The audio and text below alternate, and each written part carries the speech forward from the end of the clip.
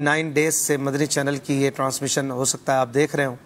और आज में भी हमारी आखिरी ट्रांसमिशन भी हो सकती है। और अगर एक और दिन करम से मिल गया तो एक रात ही मज़ीद बाकी है। या तो लास्ट है या सेकंड लास्ट है। अल्लाह करीम हमें भी बख्शे जाने वालों में से फरमा दे।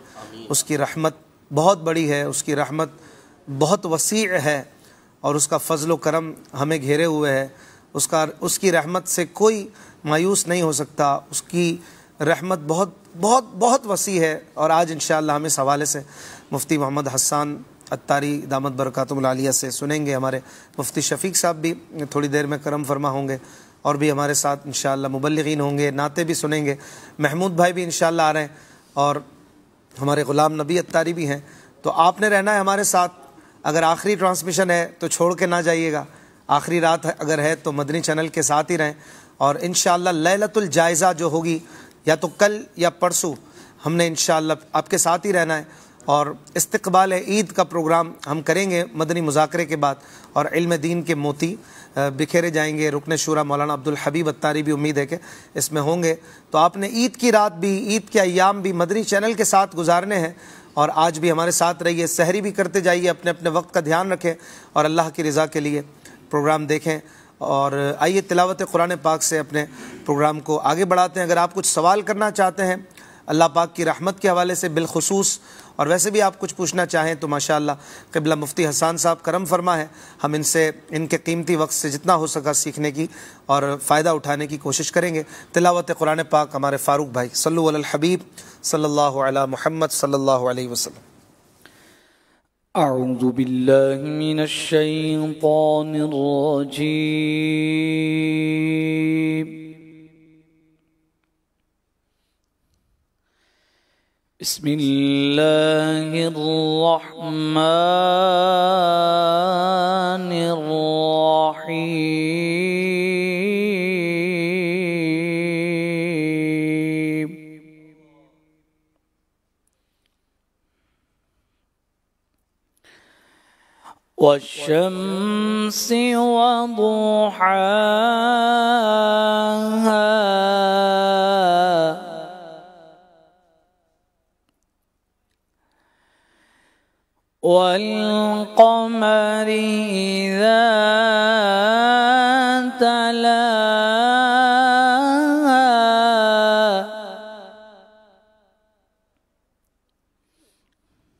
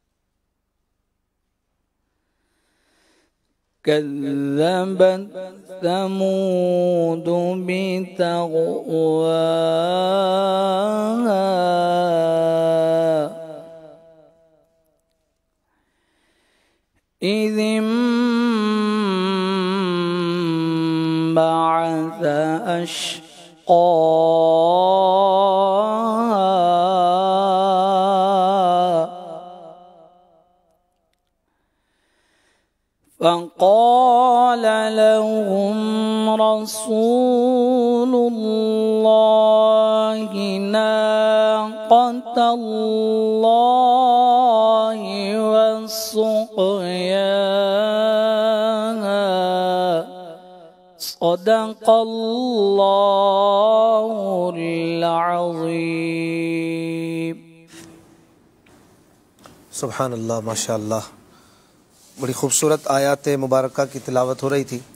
अल्लाह तबारक व ताली के पाकिज़ा कलाम कुरान पाक की क्या बात है? जब बंदा कुरान पढ़ता है तो अल्लाह पाक की रहमत के समुंदर में जैसे गोता लगा लेता है। और कुरान पाक अल्लाह की रहमत का बहुत बड़ा एक मज़हर, एक आईना है। और माशाल्लाह आज मौजू भी हमारा रहमत इलाही है। मुफ्ती हसान साहब की तरफ़ चलते हैं, आगाज़ ले लेते हैं ताकि आप मज़ीद कॉल्स भी कर सकें इनकी। प्यारी प्यारी बातें सुनकर और नाज शरीफ भी इंशाल्लाह फिर कुछ देर में शामिल करेंगे। हज़रत तिलावत कुरान हो रही थी। तिलावत कुरान या कुरान पाक, अल्लाह तबारक व ताली की रहमत का मज़हर, रहमत की उम्मीद, कसरत से दिलाने वाला, इस एतबार से आप क्या फरमाते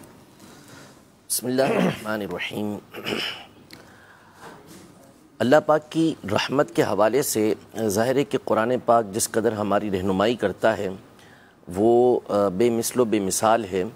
और ख़ुद कुरान मजीद फ़ुरक़ान हमीद को हम देखें तो कुरान मजीद फ़ुरक़ान हमीद भी अल्लाह पाक की रहमत ही है। अच्छा खुद पूरी रह, पूरा ही जैसे, रहमत। जैसे मिसाल के तौर पर अल्लाह पाक ने ख़ुद इरशाद फरमाया कि इस कुरान को हमने नाजिल किया कि ये हिदायत और रहमत है मोमिन के लिए। जी, जी। तो कुरान को खुद अल्लाह पाक ने रहमत ये करार दिया है। बल्कि हुदम व रहमतुल्लिल मुहसिनीन। लिलमुहसिनीन सूरह भी है। की तीसरी आयत गालिबन तो मुख्तलिफ़ लोगों के लिए रहमत इसको करार दिया गया हिदायत इसको करार दिया गया बुशरा इसको करार दिया गया कि खुशखबरी है ये मुसलमानों के लिए। कुरान मजीद फ़ुरक़ान हमीद में अल्लाह पाक ने जो अपनी रहमत के मज़हर हैं जो मज़ाहिर हैं यानी क्या क्या चीज़ें हैं कि जिनके ज़रिए से अल्लाह पाक की रहमत को जाना जाता है अल्लाह पाक की रहमत को देखा जाता है तो ख़ुद रब तबारक व ताली ने इस बात को बयान फरमाया जगह जगह मिसाल के तौर पर अल्लाह पाक ने यह इरशाद फरमाया व मिर रहमत ही जालकुमल व नहारा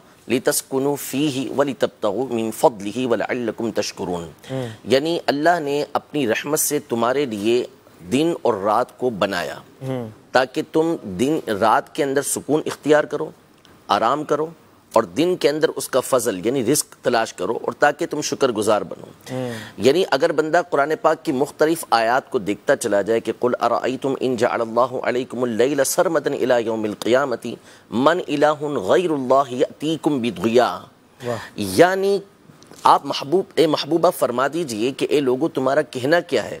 तुम्हारी राय क्या है कि अगर अल्लाह तुम्हारे लिए हमेशा हमेशा के लिए रात बना दे तो कौन खुदा है? उसके अलावा कि जो इस दिन ला सके जो रोशनी ला सके तो अफला ताकिलून तुम लोग जो है अकल नहीं रखते। इसी तरह अफला तस्माउन क्या तुम सुनते नहीं हो?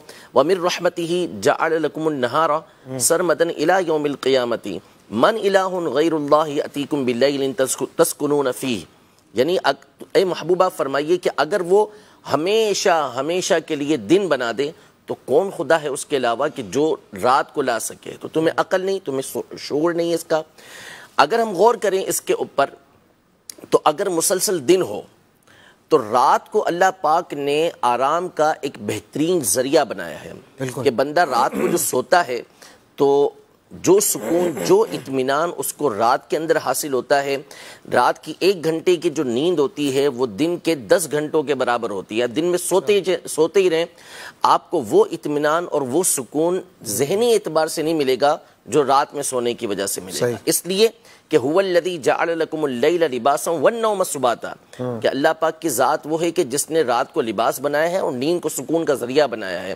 तो लिहाजा रात को अल्लाह पाक ने बहुत सारी नेमतों के तौर पे हमारे लिए बनाया कि इसमें नींद सुकून की होती है।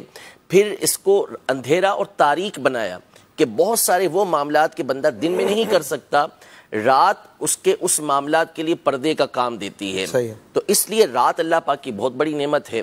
तो अगर हमेशा हमेशा दिन होता तो बंदे क्या करते? हम्म। वो रात आती ही ना दिन ही दिन रहता। तो इसका मतलब आँखें थक जाती और बंदा जो रात के मामला थे वो कभी कर ही नहीं पाता। इसी तरह अगर हमेशा हमेशा रात रहती हम्म। और दिन ना होता तो जो रिस्क को तलाश करना है, अल्लाह पाक ने जो दिन के अंदर सहूलत रखी है रिस्क को तलाश करने के लिए, वो रात के अंदर नहीं है। दिन के अंदर अल्लाह पाक ने रिस्क के हवाले से बरकत रखी हुई है। और दिन के अंदर जो रिस्क तलाश करता है, उसको बाबरकत रिस्क मिलता है बनस्बत रात के मुकाबले में।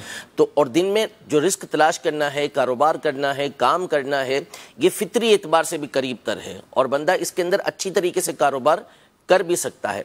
तो अब अगर हमेशा हमेशा के लिए रात हो जाती दिन आता ना तो बंदे करते क्या? चले अब ये रोशनियाँ नई नई आ चुकी लेकिन ज़ाहिर है कि इन रोशनियों के ऊपर खर्चा और फिर ये जो मसनू रोशनियाँ हैं ये उमूमी तौर पर नुकसान का सबब भी बनती हैं।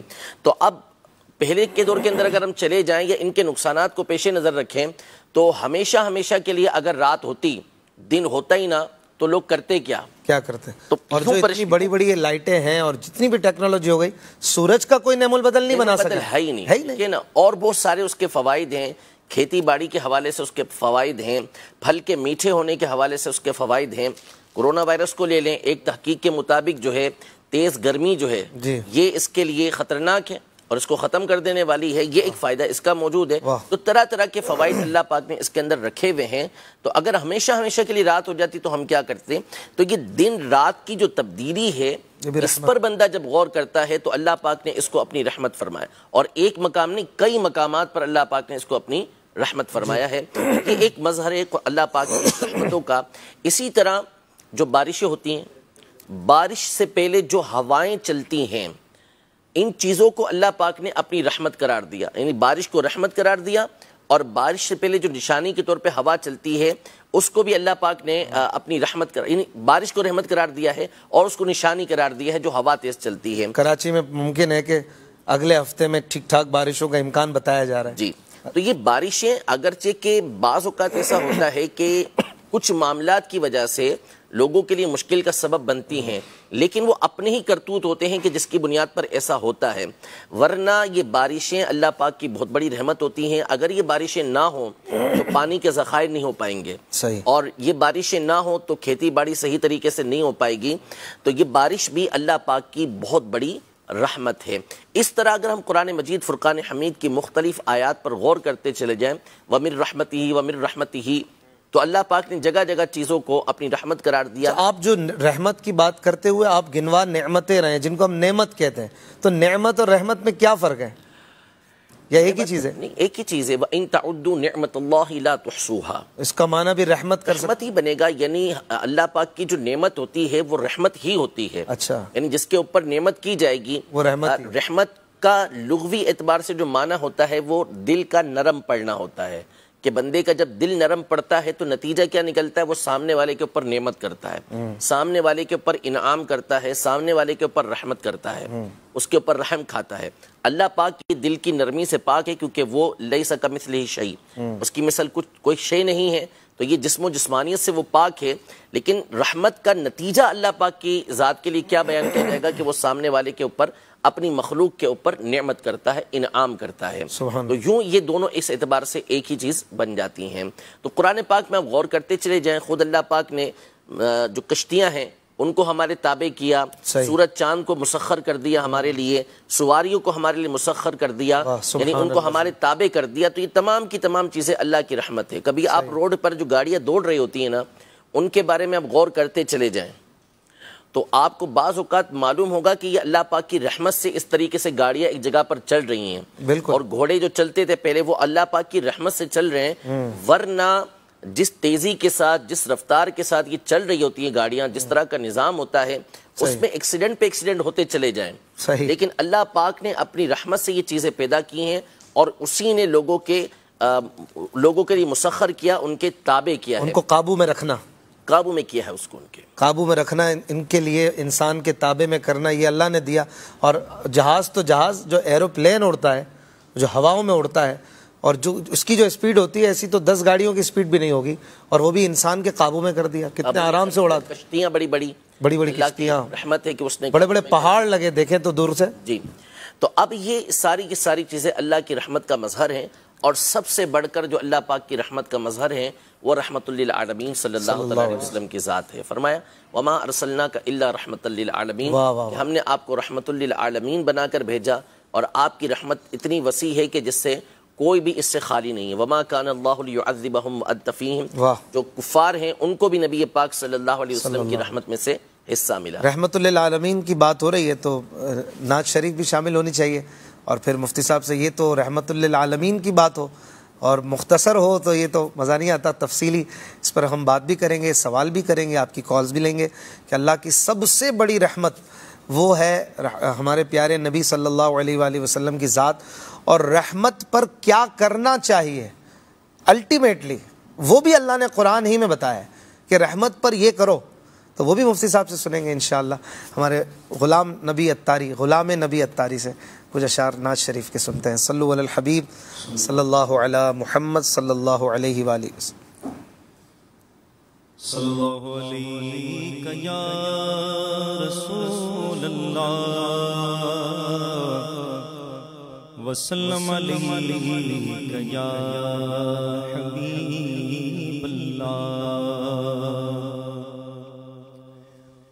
मुहम्मद मजहर कामिल है हक की शान इज़्ज़त का। मोहम्मद मजहर कामिल है हक की शान इज़्ज़त का।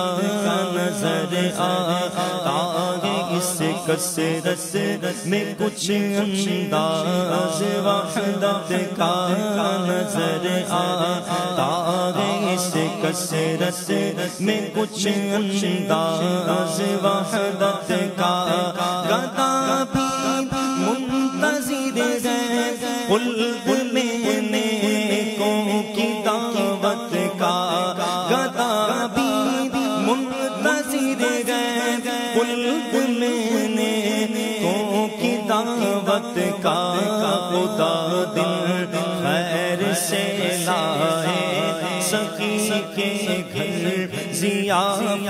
का खुदा दिल खैर से लाए। सकी के घर सियाफत का नमक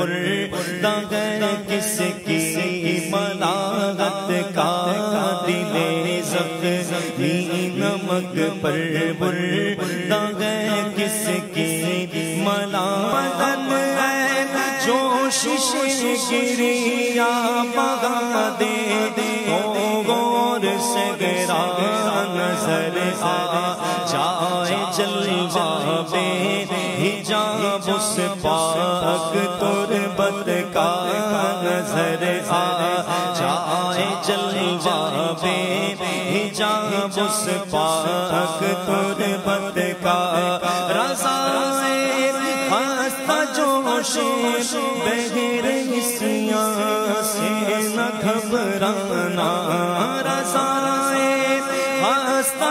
हंसता बगैर हिस्सियाँ से न घबराना कभी तो हाथ आ जाए। गदामन उनकी रहमत का कभी तो हाथ आ जाए।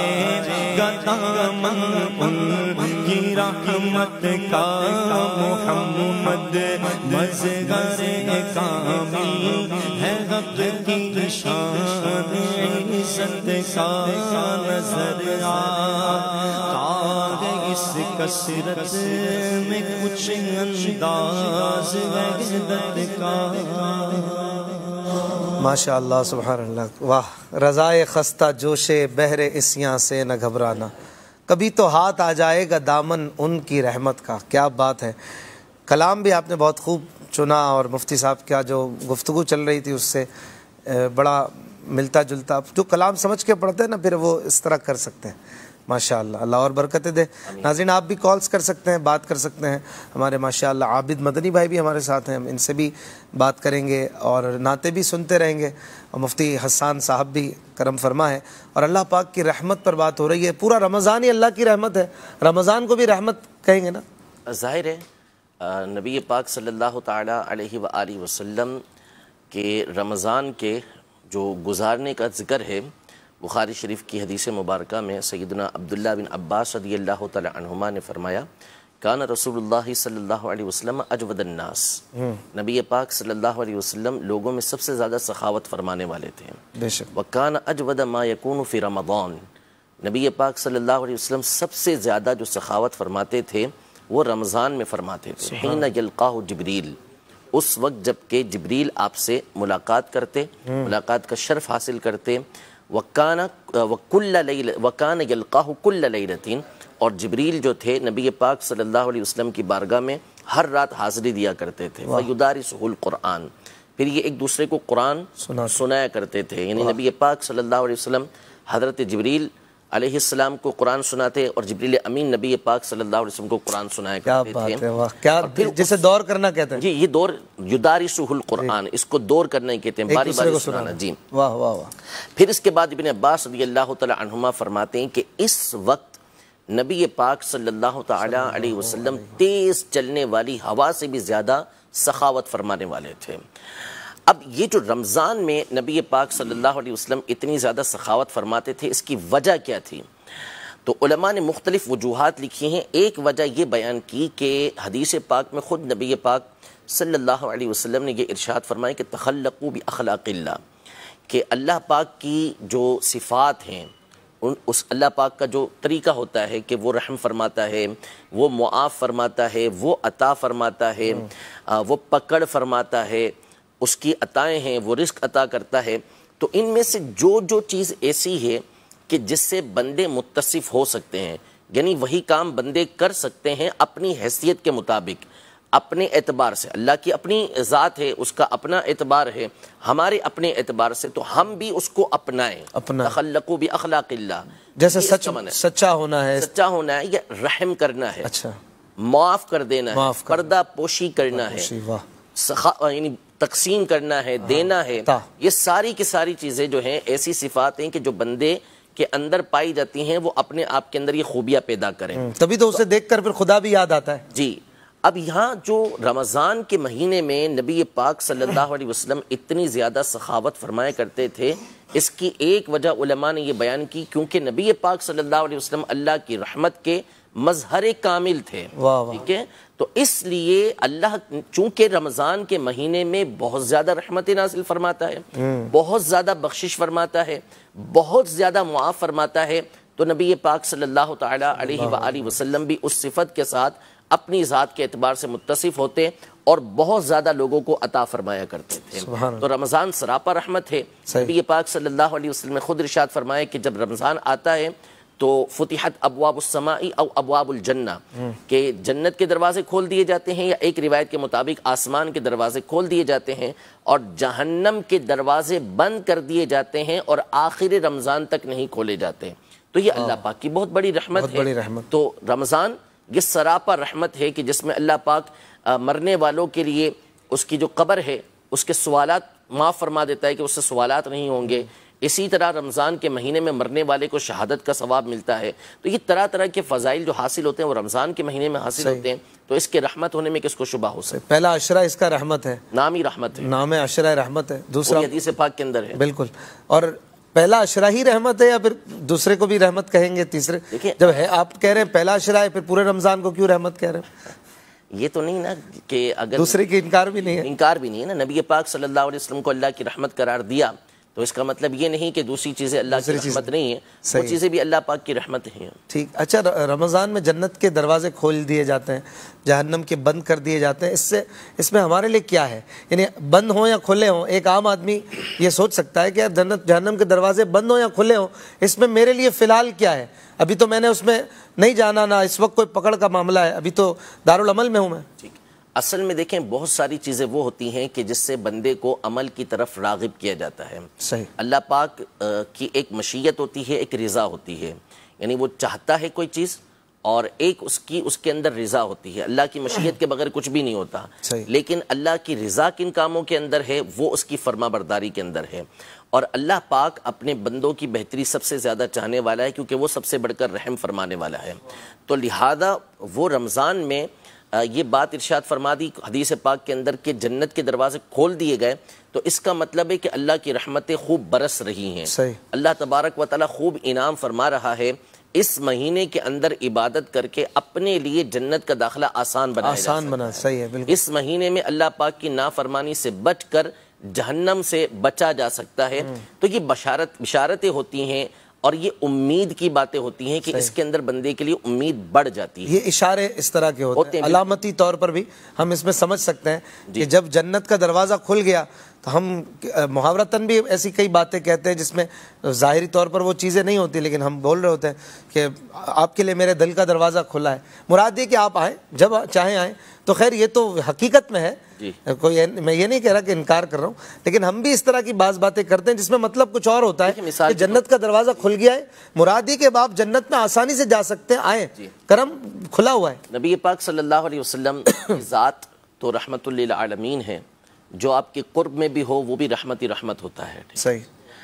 अ, जैसे जो रियाजुल जन्ना जिसको हम कहते हैं जो असल में रौजतुम रियादिल जन्ना यानी जन्नत की क्यारियों में से एक क्यारी है।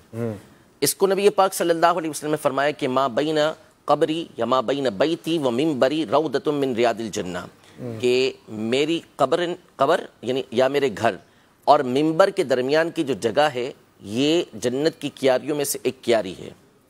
अब सवाल ये पैदा होता है कि ये जन्नत की क्यारी कैसे है?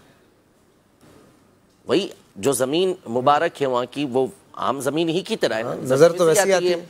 और उसके ऊपर एक खूबसूरत कालीन बिछा हुआ है ग्रीन कलर का जो कालीन की खुशकिस्मती है कि वहाँ बिछा हुआ है वो। तो अब ये जन्नत की क्यारी कैसी है? कैसे है? तो इसके बारे में उलमा ने तीन तरह की बातें इर्शाद फरमाई। नंबर एक ये कि ये जो जन्नत की क्यारी है हकीकी एतबार से है कि अल्लाह पाक ने इस हिस्से को जन्नत से ही उतारा है। अच्छा। ये जन्नत ही की जगह है। दूसरा इसका माना ये बयान किया है कि जन्नत की क्यारी इस एतबार से कि क़यामत के दिन इसको इस हिस्से को जन्नत के अंदर दाखिल कर दिया जाएगा। तीसरा इस एतबार से जो हमने अभी बात की ना कि जन्नत के दरवाजे खोल दिए जाते हैं जहन्नम के दरवाजे बंद होते हैं तो इसका क्या मतलब है कि हमने कहा उम्मीद वाली बातें हो जाती हैं। तीसरा माना उलमा ने इसका ये बयान किया कि जो रियाजुल जन्ना रौदतुम मिन रियादिल जन्ना जिसको हम रियाजुल जन्ना कहते हैं उसके अंदर जो शख्स नमाज़ पढ़ेगा उसके लिए इस बात की उम्मीद बढ़ गई कि वो जन्नत के अंदर दाखिल हो जाएगा। सुबहान तो इसी तरह रमज़ान का महीना है कि इसमें जन्नत के दरवाजे खोले गए। इसमें जो अल्लाह की इबादत करेगा वो उसके लिए उम्मीद बढ़ जाएगी कि वो जन्नत जन्नत के अंदर दाखिल हो जाए जाएगा। आला हज़रत ने यही बात कही ना कि जन्नत में आके नार में जाता नहीं कोई। जन्नत में आके नार में जाता नहीं कोई। शुक्र खुदा नवीद न नजातो ज़फ़र की है। जी। तो यही उम्मीद वाली बात है कि जब जन्नत में आका के सदके पहुँच गए यानी उस रौदतुल जन्ना में तो अब आपका ही ये बताना है कि जन्नत में जो चला जाएगा वो दोजख में फिर कभी नहीं जाएगा। तो हम भी जन्नत के टुकड़े में आ गए अब हमारे लिए जन्नत कन्फर्म फरमा दीजिए। ये उम्मीद की बातें हैं।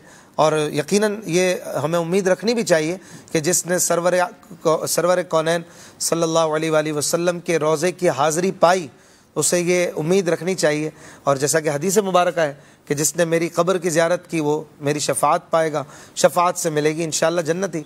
तो उम्मीद जो है उम्मीद पे दुनिया कायम है और अल्लाह पाक की रहमत की उम्मीद ये एक मोमिन की सबसे बड़ी उम्मीद है।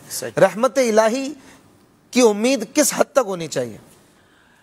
देखिए रहमत का जो माना है वो पिछली दफ़ा जब हमने शफात पे गुफ्तु की थी तो उसके अंदर बयान किया था कि रहमत का माना ये जरी होना नहीं होता। किसी चीज़ के ऊपर जुरत करना नहीं होता कि बंदा रहमत के ऊपर या शफात के ऊपर ऐसा जरी हो जाए कि वो गुनाह करने लग जाए। रहमत का मतलब ये होता है कि एक तो बंदा अल्लाह ताला की फर्मा बरदारी के अंदर इजाफा करता चला जाए।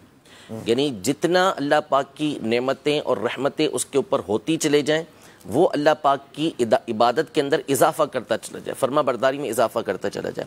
नबी पाक सल्लल्लाहु अलैहि वसल्लम कई मरतबा सारी सारी रात इतनी इबादत फरमाते कि आपके मुबारक पाँव के अंदर वरम तशरीफ़ ले आता वरम हाजिर हो जाता। तो साहबा कराम अली मुरिदवान बारगाह रसालत में अर्ज़ करते कि या रसोल्ला सल्ला अलैहि वसल्लम आपकी ज़ात तो वो है कि जिसकी वजह से अल्लाह पाक ने अगले पिछलों के गुनाह मुआफ़रमा दिए हैं। तो आप इतनी इबादत करते हैं? तो नबी पाक सल्लल्लाहु अलैहि वसल्लम ने उसूल बयान फरमाया एक जबता बयान फरमाया कि अफला अकून अब्दन शकूरा। क्या मैं अल्लाह का शुक्र गुजार बंदा ना बनूं? यानी अल्लाह पाक की जितनी नियमतें बढ़ती चली जाएँ अल्लाह पाक की जितनी इनायतें बढ़ती चली जाएँ उसकी तरफ़ से जितने इनामात का इजाफा होता चला जाए बंदा अल्लाह पाक के शुक्र के अंदर इजाफा करता चला जाए। वो अब्द शकूर बने शुक्र गुजार कर, करने शुक्र गुजारी करने वाला बंदा बने। ये ना कि अल्लाह पाक की रहमत हो रही है तो वो उसके ऊपर फूल जाए और उसकी फर्मा बरदारी करना छोड़ दे ठीक है? अब रहा कि किस हद तक रहमत की उम्मीद रखनी चाहिए तो रहमत से किसी सूरत भी मायूस होना ही नहीं चाहिए। ना उम्मीद हर सूरत जो है अल्लाह पाक की रहमत ये इस कदर वसी है कि बंदा किसी सूरत भी मायूस हो ही नहीं सकता। रहमत का बयान करने का एक सबब यही किया गया, यही बयान किया गया कि बंदा अल्लाह पाक की रहमत से मायूस ना हो, गुनाह कर करके अगर वो अपने आप को हलाक भी कर चुका है तो भी वो अल्लाह पाक की रहमत पर उम्मीद रखे। कुरान पाक में अल्लाह पाक ने वाज तौर पर इशाद फरमाया कि कुल या इबादी अल्लदीन असरफ़ू अला अनफुसिहिम। ला तकनतु यानी आप यहाँ पर अल्लाह की इनायतें देखें। हम्म। सबसे पहली बात फरमाया कुल। हम्म। ए महबूब आप फरमाइए। यानी जबान किसकी है? रहमतुल्लिल आलमीन की। जिसको अल्लाह पाक ने सबसे जिनको अल्लाह पाक ने अपनी सबसे बड़ी रहमत बनाकर दुनिया के अंदर भेजा है। फिर इसके बाद देखिए तस्करा किनका है? गुनहगार बंदों का। असरफू अला अनफुसिहिम। जिन्होंने अपनी जानों पर जुल्म किया है। यानी जुल्म करने का मतलब गुनाह कर करके अपने आप को तबाह बर्बाद कर लिया है। अपने आप को जहन्नम के किनारे तक ले आए हैं। इनके बारे में अल्लाह पाक के अल्फाज मुलाजा फरमाए कि, या इबादी, ए मेरे बंदो, ये नहीं फरमाया, या इबाद रहमान, या इबाद अल्लाह बल्कि इन गुनाहगार बंदों की नस्बत भी अल्लाह पाक ने अपनी जात की तरफ़ की। ये अल्लाह पाक की रहमत की एक बहुत बड़ी उम्मीद हुई। बिल्कुल। फिर इसके बाद ये भी नहीं कहा कि मुजरिमो जालिमो जालिमो। बल्कि कितने नरम और मोहब्बत वाले अल्फाज जी बिल्कुल के मेरे बंदो मेरे बंदो। और कौन से बंदो? कि जिन्होंने अपनी जानों पर जुल्म किया। ला तकनतु मिन रहमतिल्लाह अल्लाह की रहमत से मायूस ना हो। हम्म। इन अल्लाह यगफिरु जुनूब जमीआ। कि अल्लाह पाक सारे के सारे गुनाहों को मुआफ़ फरमा देता है। इन गफूर रहीम। बेशक वो बख्शने वाला रहम फरमाने वाला है। अब यहाँ नुकता देखें कि अल्लाह की रहमत से न दुनिया में मायूस हुआ जाएगा न क़ियामत के दिन मायूस हुआ जाएगा। हम्म। सबसे पहले तो ये देखें कि यहाँ दो बातें हैं। ये इरशाद फरमाया इन यकफ़िरजुनूब जमीआ कि बेशक अल्लाह पाक सारे के सारे गुनाहों को मुआफ़ फरमा देता है। जितने गुनाह हो करोड़ों अरबों खरबों गुनाहों। बंदे ने गुनाह कर करके ज़मीन और आसमान को भर डाला है। अल्लाह पाक की रहमत को कोई नुकसान नहीं पहुँचा। और न नुकसान पहुँच सकता है वो सारे के सारे गुनाहों को माफ़ फरमा देता है। इन यगफिरुजुनूबा जमिया यहाँ पे ये फरमाया और इसके बाद फरमाया कि इन गफूर रहीम। बेशक अल्लाह पाक गफूर है। यानी हर तरह के गुनाह को मुआफ फरमाने वाला है। गफ्फार और गफूर के दरमियान फ़र्क उलमा ने यह बयान किया कि गफ्फार वो होता है कि गुनाह कितनी ही कसरत से बंदे ने किए हों करोड़ों अरबों गुना किए हों नादिम होकर सच्ची तोबा के लिए अल्लाह की बारगाह में हाजिर हो जाए तो अल्लाह पाक उसके सारे के सारे गुनाहों को माफ़ फरमा देता है। गफ्फार का माना होता है कि तादाद में जितने गुनाह हैं अल्लाह ने सबको माफ़ फरमा दिया। फरमाने वाला है। और गफूर का मतलब होता है कि बंदा कितने कैसे ही गुनाह करने वाला हो। शिरक व कुफर उसने किया है तोबा करेगा अल्लाह पाक उसका शिरक व कुफर भी माफ़ फरमा देगा। नाउजुबिल्ला बड़े बड़े कबाइर के अंदर मुब्तला है तोबा के तकाजे पूरे करेगा अल्लाह पाक उसके इस गुनाह को भी दुनिया के अंदर मुआफ फरमा देगा। तोबा असल चीज़ है वह अनीबू इला रब्बिकुम अपने रब की तरफ़ रुजू कर लो। तो अल्लाह पाक सारे के सारे गुनाहों को माफ़ फरमा देता है। तो इस आयत में अल्लाह पाक ने गफ्फार और गफूर दोनों का तस्करा किया है। हुवल गफूर।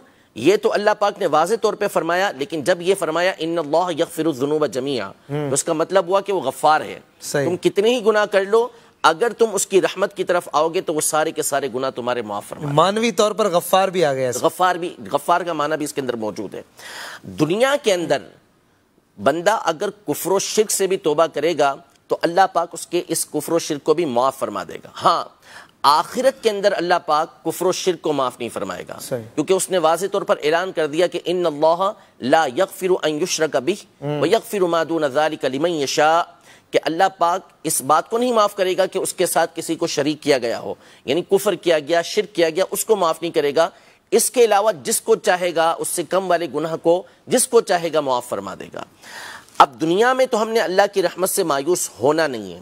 क़ियामत के हवाले से मुलाजा फरमाएँ। एक बहुत ही प्यारी रिवायत इमाम अबुल कासिम अल कुशैरी रहमतुल्लाहि ताला अलैह ने शरा अस्माउल हुस्ना के अंदर ये बयान फरमाई कि क़ियामत का जब दिन होगा तो अल्लाह पाक एक शख्स को के बारे में हुक्म देगा कि इसको जहन्नम में ले जाओ। उसके बारे में बयान हो गया कि ये जहन्नम में जाएगा फैसला हो गया कि जहन्नम में ले जाओ। उसको फरिश्ते लेके चलेंगे जहन्नम की तरफ़। वो जब तिहाई रास्ता तय कर लेगा वन थर्ड तो वो मुड़ के देखेगा। फिर वो आगे चलेगा। जब आधा रास्ता तय करेगा तो फिर मुड़ के देखेगा। फिर जब वो दो तिहाई रास्ते को तय कर लेगा तो फिर मुड़ के देखेगा। अल्लाह पाक सब जानता है। हाँ। वो उस बंदे को बुलाएगा। कि इसको लेकर आओ वो अल्लाह पाक की बारगाह में हाजिर होगा। अल्लाह पाक उससे इरशाद फरमाएगा कि तूने मुड़ मुड़ के क्यों देखा? हाय हाय।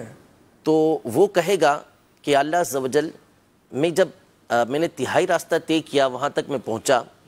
तो मुझे तेरा फरमान याद आया वह रब्बुकल गफूर रहमा सुभान अल्लाह कि तेरा रब गफूर है यानी जो हर तरह के गुनाह को माफ़ फरमा देता है वो रहम फरमाने वाला है। तो मैंने मुड़ के पीछे देखा कि शायद तू मेरी मगफिरत फरमा दे। फिर मैं आगे चला जब आधे रास्ते पर पहुँचा तो मुझे तेरा फरमान याद आया कि तूने ये इरशाद फरमाया कि ला यगफिरुज़ुनूब इल्लल्लाह। कि गुनाहों को तो सिर्फ़ अल्लाह ही माफ़ फरमाता है। तो मैं मुझे ख्याल आया कि मैं मैं जो है वो मैंने पीछे मुड़ के देखा कि शायद तू मेरी मगफिरत फरमा दे। फिर जब मैं आगे चला जब मैंने दो तिहाई रास्ते को तय कर लिया तो मुझे तेरा फरमान याद आया कि ला तकनतु मिर रहमतिल्लाह कि अल्लाह की रहमत से मायूस ना हो। हो, तो मैं तेरी रहमत से मायूस ना हुआ मैंने मुड़ के देखा कि शायद तू मेरी मगफिरत फरमा दे। अल्लाह। पाक ने इरशाद फरमाया कि इस बंदे को जन्नत के अंदर है यानी क़ियामत के दिन भी अल्लाह पाक की रहमत से मायूसी नहीं है। एक बहुत खूबसूरत हदीस मुबारक। कि अल्लाह पाक की जो ख़ास रहमत होगी वो क़ियामत के दिन है। कि अच्छा। क़ियामत के दिन के बारे में एक तो रिवायत ये बयान की कि इन लिल्लाही मिअत रहमतिन। अल्लाह पाक की सौ रहमतें हैं जिसमें से एक उसने दुनिया के अंदर नाजिल की है। अब इस एक रहमत के बारे में फरमाया कि इसी रहमत की वजह से लोग एक दूसरे के ऊपर रहम करते हैं। वहशी जानवर तक अपनी औलाद पर इस रहम इस रहमत की वजह से रहम करते हैं। यानी अगर आप गौर करते चले जाएँ तो एक रहम का मादा होता है वहशी जानवर के अंदर दरिंदे के अंदर होता है। एक रहम का मादा होता है भाई बहनों के दरमियान। एक रहम का मादा होता है, एक रहम करना होता है दोस्तों के दरमियान। इनसे बढ़कर जो रहमत होती है, बाप के अंदर होती है। बाप से बढ़कर होती है रहमत माँ के अंदर। माँ की भी अकसाम होती हैं कि हर माँ इतनी ज़्यादा रहीम हो, शफकत करने वाली हो, ज़रूरी नहीं होता। अफराद जो होते हैं, उनके दरमियान रहमत जुदा जुदा होती है। एक कुछ रहम करता है एक उससे बढ़कर रहम करता है। बाज़ लोग फलाही काम करते हैं इंसानियत के काम करते हैं या तबलीग के काम करते हैं तो उनकी रहमत को देख के हम कहते हैं कि यार कितनी मेहरबानी करने वाला है। दिल। दिल कितना नरम है इसका। वो किसका असर है? वो अल्लाह पाक की एक रहमत का असर है। और फरमाया कि जब क़यामत का दिन होगा तो अल्लाह पाक की निन्यानवे रहमतें उनका जहूर होगा और इस एक रहमत को भी उसके साथ मिला दिया जाएगा। उन सौ रहमतों के ज़रिए अल्लाह पाक उन सौ रहमतों के साथ बंदों के ऊपर रहम फरमाएगा। क़यामत के दिन उम्मीद की बात देखें कि अल्लाह पाक की रहमत की उम्मीद कैसे होगी। एक हदीस पाक के अंदर है कि अल्लाह तबारक व ताली क़यामत के दिन इतनी मगफिरत फरमाएगा इतनी मगफिरत फरमाएगा कि शैतान कन्फर्म जहन्नमी है। वाज तौर पर कुरान पाक में ये बयान कर दिया कि तू भी और लिमन तब याकमिन हम जो तेरी पैरवी करने वाले हैं वो सारे के सारे जहन्नम के अंदर जाएँगे। यानी शैतान का जहन्नमी होना ये कन्फर्म बात है। लेकिन अल्लाह पाक क़यामत के दिन इतनी रहमतें फरमाएगा कि शैतान भी गर्दन उठाएगा कि शायद मुझे भी इस मगफरत में से हिस्सा मिल जाए। इतनी अल्लाह पाक लोगों के ऊपर रहमत फरमा रहा होगा। एक हदीस मुबारक में है। कि अल्लाह पाक बंदे का हिसाब लेगा और हिसाब हो रहा होगा पर्दे में, मखलूक के सामने नहीं हो रहा होगा। अल्लाह पाक उसको, उसका गुनाह याद दिलाएगा कि तूने फुला दिन ये गुनाह किया था, उसका सगीरा यानी छोटा गुनाह याद दिलाएगा। वो कहेगा कि हाँ या अल्लाह, मैंने किया था। फिर अल्लाह पाक इरशाद फरमाएगा कि तूने फुला गुनाह किया था, छोटा गुना वो कहेगा कि हाँ मैंने किया था। यूँ बारी बारी बारी उसको उसके सगीरा गुना अल्लाह पाक याद दिलाएगा। वो इकरार करेगा कि हाँ या अल्लाह मैंने ये गुनाह किया था वो डर रहा होगा कि कहीं ऐसा ना हो कि वो जो बड़े बड़े मैंने गुनाह किए थे अल्लाह पाक उसको ज़िक्र ना फरमा दे। उसका तस्करा ना हो जाए इन कबीरा गुनाहों का डर और खौफ होगा उसको कि ये क्या हो ना जाए मेरे साथ। तो अल्लाह पाक उससे इर्शाद फरमाएगा कि जा तेरे हर जो जो गुनाह ज़िक्र किया है उसके बदले तुझे एक एक नेकी दी गई। उसके बदले तुझे एक एक नेकी नेकी दी। जा रही है। तो वो अल्लाह पाक की बारगाह में जल्दी से अर्ज़ करेगा। या अल्लाह वो मैंने फुला फुला बड़ा बड़ा गुना भी किया था। ये कबीरा ही भी मैंने किए थे। तो अल्लाह पाक जो है उसको उन गुनाहों के बदले भी नेकी अता फरमाएगा। बाज लोगों का हिसाब होगा। कैसे हिसाब होगा? कि वो नामा आमाल अल्लाह की बारगाह में पढ़ते चले जाएँगे। वो ज़िक्र किया जा रहा होगा। वो बड़े बड़े गुनाह को पढ़ते हुए आ रहे होंगे। नीचे पहुँचेंगे नीचे पहुँचते जाएँगे और ऊपर से उनके गुनाहों को अल्लाह पाक माफ़ फरमाता चला वाह वाह वाह। तो इस कदर रहमत क़यामत के दिन अल्लाह पाक फरमाएगा कि क़यामत के दिन भी गुनाहगार अल्लाह की रहमत से मायूस नहीं होंगे और यही काम दुनिया के अंदर भी है कि कभी भी अल्लाह पाक की रहमत से मायूस नहीं होना चाहिए उसकी रहमत के ऊपर नज़र हो और चाहे कितने ही गुनाह हो जाएँ तोबा के तकाजे आप पूरे करें शर्मिंदा हो वाह। नादिम हो अल्लाह पाक से तोबा करें अल्लाह पाक सारे के सारे गुनाहों को माफ़ फरमा दे। सुभान अल्लाह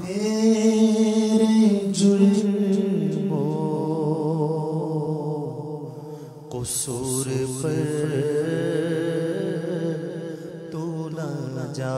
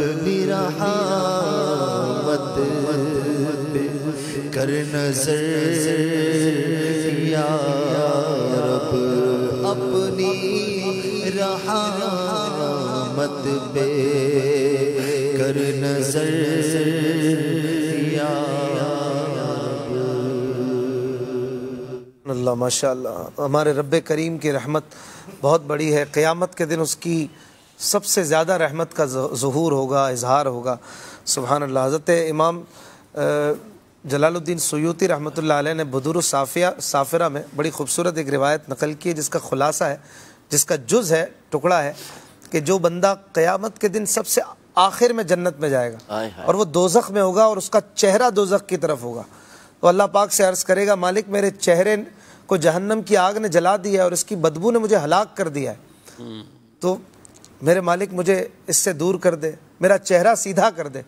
अल्लाह तबारक व ताली फरमाएगा कि देख मैं तेरे साथ ये कर्म करूँगा फिर इसके बाद कोई सवाल तो नहीं करेगा। वो कहेगा तेरी इज़्ज़त की कसम फिर कोई सवाल नहीं करूँगा।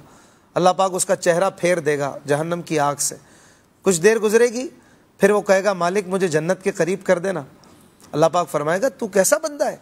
अहदो पैमान करके फिर तू सवाल कर रहा है? हालाँकि तूने कहा था मैं कुछ नहीं सवाल करूँगा। वो कहेगा मालिक तू करम फरमा देना। वो सवाल करता रहेगा। यहाँ तक कि अल्लाह पाक उसे जन्नत के करीब फरमा देगा इस वादे पर कि अब कोई सवाल नहीं करना।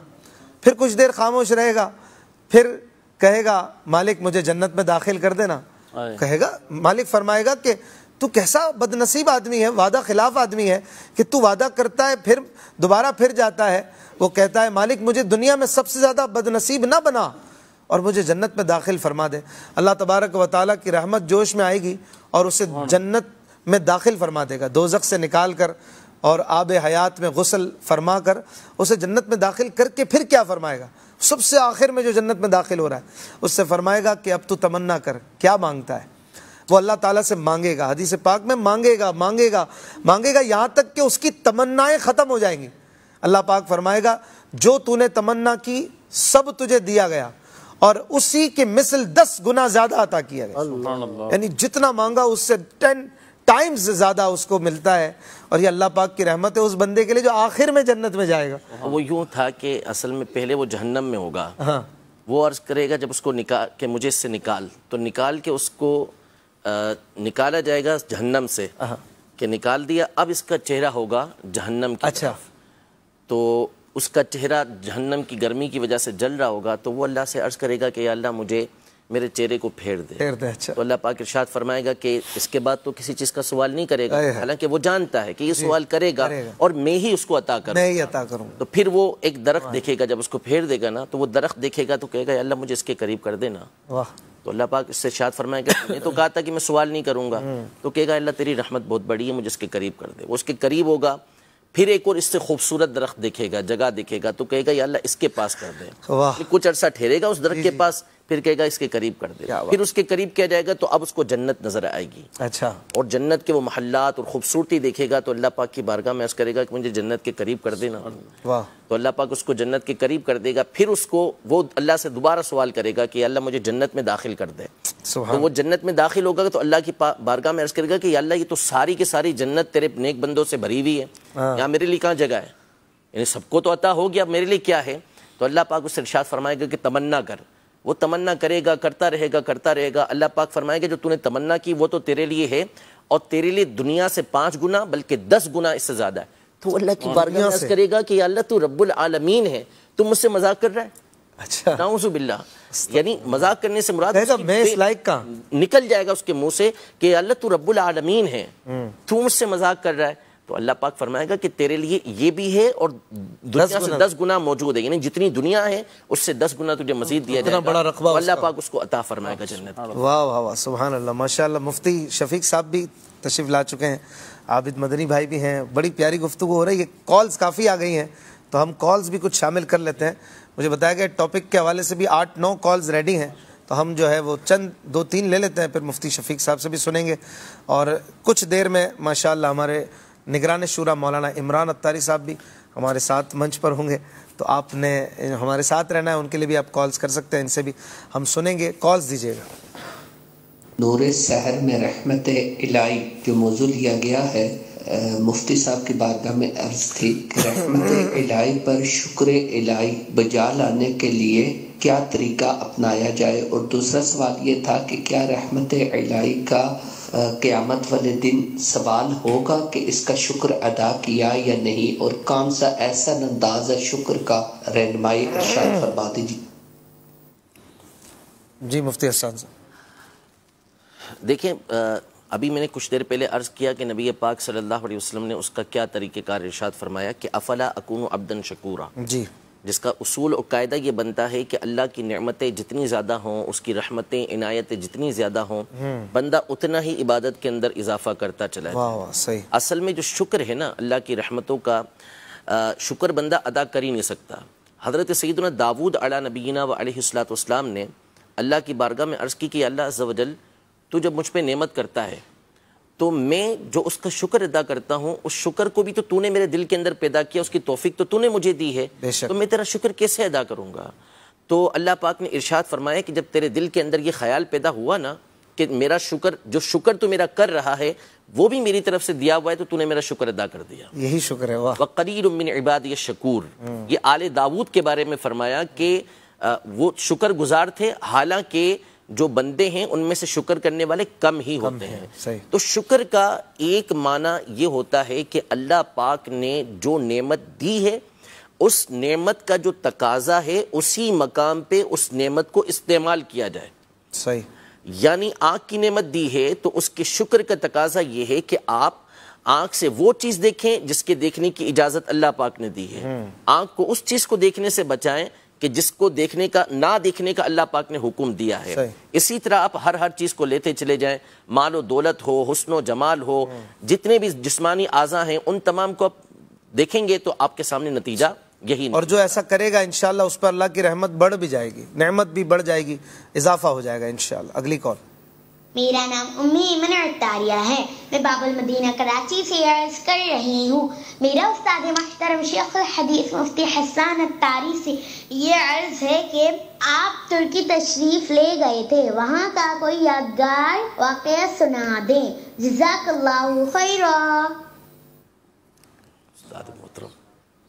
है? टीवी के ज़रिए उस्ताद मोहतरम। सही।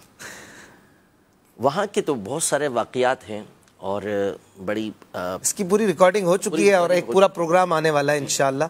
मुफ्ती साहब भी होंगे हो सकता है मुफ्ती हसान साहब भी हों अली असगर साहब भी होंगे। उसके अंदर मेरी तो वो फिर भी मौजूद हैं। डिटेल में आप देखेंगे अभी हमारा वक्त जो है वो महदूद है तो फिर इस पर किसी और दिन बात होगी। आबिद भाई वेलकम क्या कहते हैं आप रहमत इलाही के मौजू पर? माशाल्लाह बड़ी काफ़ी वाफ़ी गुफ्तगु महवो के अल्हम्दुलिल्लाह मैंने सुनी। अल्लाह भी मुझे भी बरकत फरमाए। और मदनी चैनल के नाजरन को भी बरकत अता फरमाए जो। हसान साहब ने माशा गुफ्तु फरमाई। आखरत के हवाले से दुनिया के हवाले से एक हदीस पाक है मेरे आका इरशाद फरमाया जब बंदे को लोग कब्र में लिटा कर आ जाते हैं और सारे लोग जब छोड़ कर उसे अकेला वापस आ जाते हैं तो अल्लाह तबारक व ताली सबसे ज़्यादा उस वक्त बंदे की तरफ़ नज़र रहमत फरमाता है। जी वाह। तो बंदा सबसे ज़्यादा रहमत सबसे नज़र रहमत। ये उम्मीद है कितनी बड़ी उम्मीद है अल्लाह तबारक। क्या बात है। हालाँकि वही सबसे खौफ का एक मंजर होगा इंसान। ज़िंदगी में वही सोचता रहता है अगर कभी खौफ आए भी तो कि कब्र में जाके वो पहली रात का क्या होगा?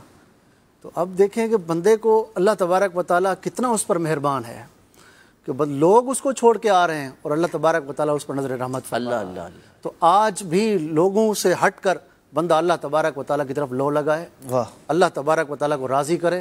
उस पाक परवरदिगार को राज़ी करे उसको खुश करे। हाँ। तो इन ताला कब्र भी उसकी रहमत से जगमगा उठेगी आखरत भी जगमगा उठेगी।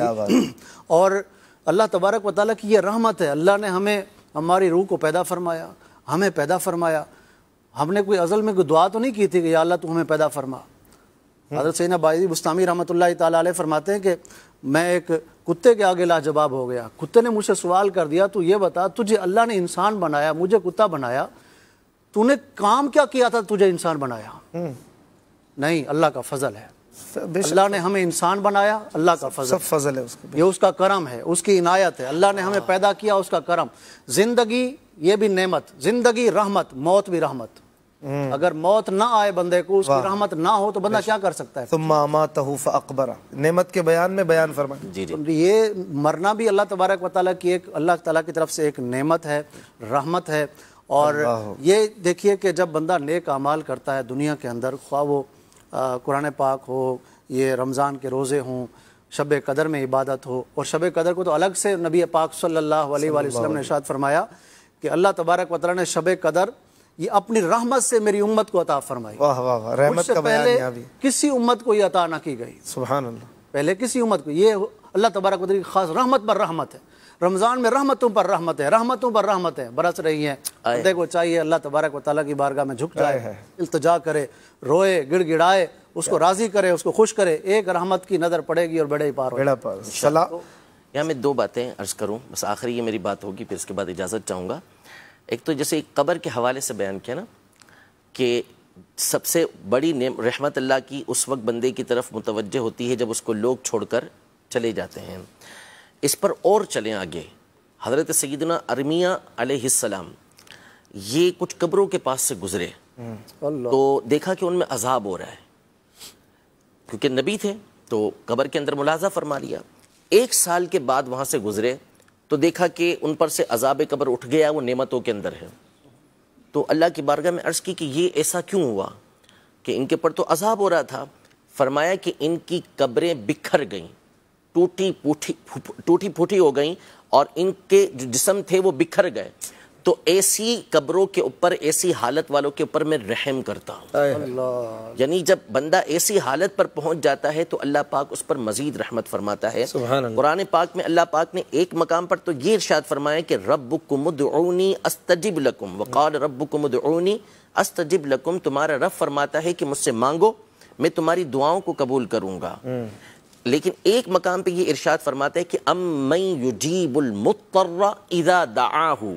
वयकशिफुस्सूआ कि जो मुस्तर है, जो परेशान है, जिसका दिल घबराहट के अंदर है, जिसके पास कोई रास्ता नहीं है, जिसके पास कोई चारा नहीं है तो उसकी दुआ को कबूल कौन करता है? जब वो दुआ माँगता है और उससे बुराइयों को दूर कौन करता है? फिर आगे फरमाया इलाहुम अल्लाह, कि क्या अल्लाह के अलावा कोई दूसरा खुदा है? वो हो ही नहीं सकता। कलील अम्मा तदक्करून तुम बहुत ही कम जो है वो गौर व फ़िक्र करते हो ज़िक्र करते हो। एक हदीस मुबारक जो इसी हवाले से जो आबिद भाई ने बयान की है कि बंदे की जब ये कैफियत होती है ना तो अल्लाह पाक उस पर मजीद रहमत फरमाता है। मुस्ंद बाज़ार की हदीस पाक है इरशाद फरमाया इन युहिब्बु कल्बन हजीन अव कल्ब हजीन यानी अल्लाह पाक गम ज़दा दिल को पसंद फरमाता है। बंदा जब टूट जाता है ना हर एक से और उसके दिल के अंदर किसी की उम्मीद नहीं रहती। अल्लाह। अब अल्लाह पाक की रहमत की तरफ़ जब वो मुतवज्जे होता है अल्लाह पाक की बारगाह में आता है तो ऐसा गमजदा दिल ये अल्लाह पाक को पसंद है और उसके हबीब सल्लल्लाहु अलैहि वसल्लम को भी ये टूटे दिल पसंद है। यूँ तो सब उन्हीं का है पर दिल की अगर पूछो। ये टूटे हुए दिल ही खास उनकी कमाई। खास उनकी कमाई। टूट कर जब बंदा जाता है ना अब ये देखें कि जब बंदा दुआ माँगता है तो अल्लाह पाक की बारगाह में जब वो ये अल्फाज कहता है, हदीस पाक के कि या वो यूँ अर्ज़ करता है, या अरहमर राहिमीन, ए सबसे बढ़कर रहम फरमाने वाले, या अरहमर राहिमीन, ए सबसे बढ़कर रहम फरमाने वाले, या अरहमर राहिमीन, ए सबसे बढ़कर रहम फरमाने वाले तो हदीस पाक के अंदर है कि एक फरिश्ता इस नाम के ऊपर मुकर्रर है, वो निदा देता है कि ए बंदे रहमान की रहमत तेरी तरफ़ मुतवज्जे है मांग क्या माँगता मांग क्या? माँगता माँगता है। जब बंदा इस तवज्जो के साथ अल्लाह पाक की बारगाह के अंदर हाजिर होता है एक हदीस मुबारक है कि बंदा गुनाह करता है। गुनाह करने के बाद वो तोबा करता है। तो एक हदीस पाक के अंदर तो ये है कि अल्लाह पाक उसकी तोबा को कबूल फरमाता है। और फरिश्तों से ये इरशाद फरमाता है कि मेरा बंदा जानता है कि उसका रब है जो पकड़ भी करता है और जो रहम भी फरमाता है जो मुआफ भी करता है। तो मैंने अपने बंदे को मुआफ किया। एक रिवायत के अंदर यह है कि फरिश्ते उसकी तोबा को लेकर, उसके नेक अमल या जो भी उसने क्या होता है, उसको लेकर अल्लाह की बारगाह में हाजिर होते हैं। दूसरी दफ़ा ये मामला होता है, वो फिर अल्लाह की बारगाह में तोबा करता है। गुनाह कर बैठा अल्लाह की बारगाह में तोबा करता है। अल्लाह पाक यही इर्शाद फरमाता है कि मेरा बंदा जानता है कि उसका रब है, जो पकड़ भी करता है और जो मुआफ़ भी फरमाता है। मैंने अपने बंदे को मुआफ़ किया। और एक रिवायत में है कि फरिश्ते वो लेके अल्लाह की बारगाह में हाजिर होते हैं। तीसरी दफ़ा यही काम करता है। अल्लाह तबारक व ताली से फिर तोबा करता है। अल्लाह पाक वही बात इरशाद फरमाता है। एक रिवायत के अंदर है कि फरिश्ते उसके इस अमल को इस तोबा को रोक लेते हैं। अच्छा। अल्लाह पाक तो सब जानता है। तो अल्लाह पाक उनसे इरशाद फरमाता है कि मेरे बंदे की इस तोबा को तुमने रोका क्यों है? वो जानता है कि कोई उस, उसका रब है जो उसकी पकड़ करने वाला है और उसको माफ़ भी फरमाने वाला है। मैंने अपने बंदे को माफ़ किया ला उबाली। वाह। मुझे कोई परवाह नहीं है। मुझे कोई परवाह नहीं है। ला उबारी के माना उलमा ने बहुत सारे बयान किए कि इसका मतलब ये है कि बंदा गुनाह करके जब सच्ची तोबा करने के लिए अल्लाह की बारगाह में हाजिर होगा अल्लाह पाक उसको माफ़ फरमा देगा। और इसका एक माना यह बयान किया गया कि बंदे को भी परवाह करनी चाहिए कि अल्लाह की रहमत का माना यह है कि वो उसकी रहमत की रहमत की वजह से अब उसकी नाफरमानी को छोड़। सुबहान अल्लाह अल्लाह ताला हमें अमल की तौफीक दे। आपका मुफ्ती साहब का पसंद का एक कलाम है। आप माशाल्लाह फरमाइश भी फरमाई फरमाते हैं माशाल्लाह निगरान शूरा मौलाना इमरान अत्तारी साहब भी आ चुके हैं। महमूद भाई से चंद अशार आप तशरीफ़ रखेंगे तो आपको भी इंशाल्लाह मज़ा आएगा। सुनते हैं आपको आपकी कॉल्स भी लेंगे। मुफ्ती शफीक साहब भी हैं इंशाल्लाह गुफ्तु का सिलसिला जारी रखेंगे। महमूद भाई चंद अशार शामिल कर लें। अ, ये जा ज़िंदगी मदीने से झोंके हवा के ला। हालात आपके सामने अल्लाह पाक सब पर रहम फरमाए। सल्लल्लाहु अलैहि मुहम्मद जा ज़िंदगी मदीने से झोंके हवा के ला जा ज़िंदगी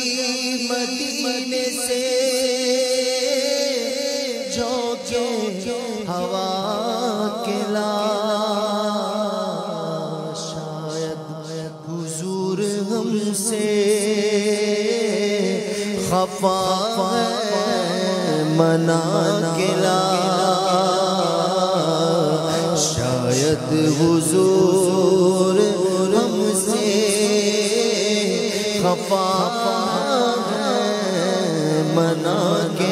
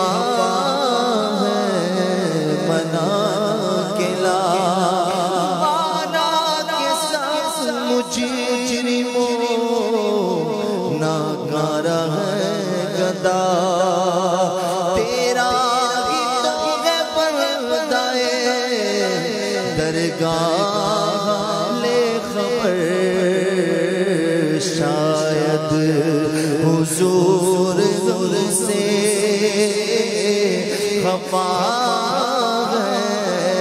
बना के किला। शायद हुजूर से खफा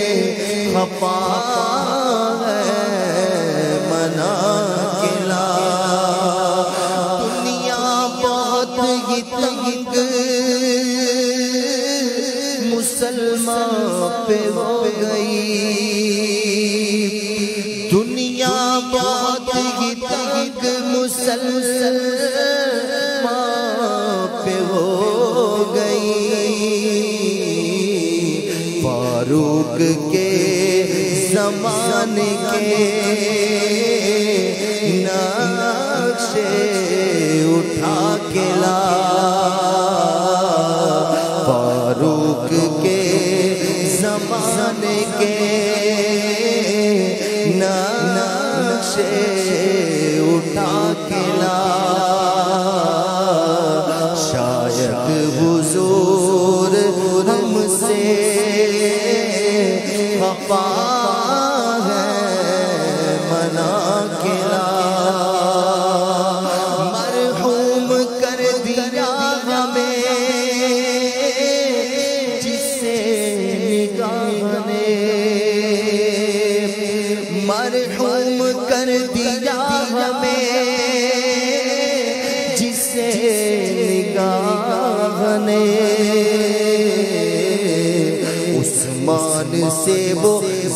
जाविए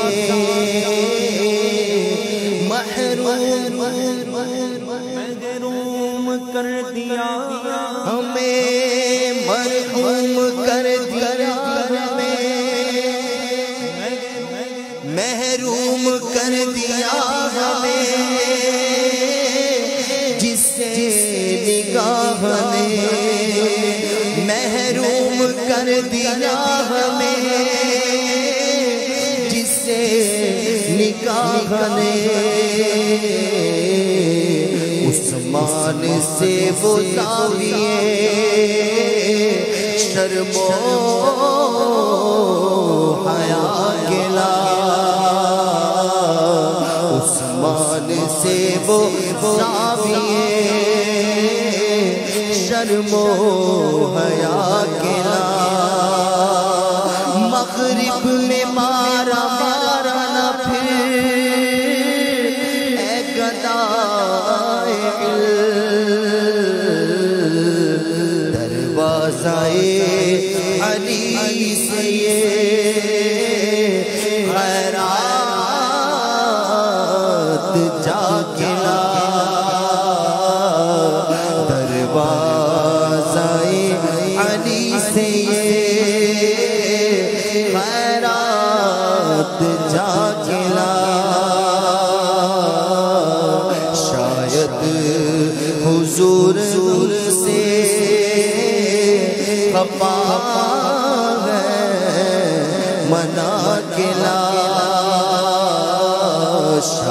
शायद हुजूर से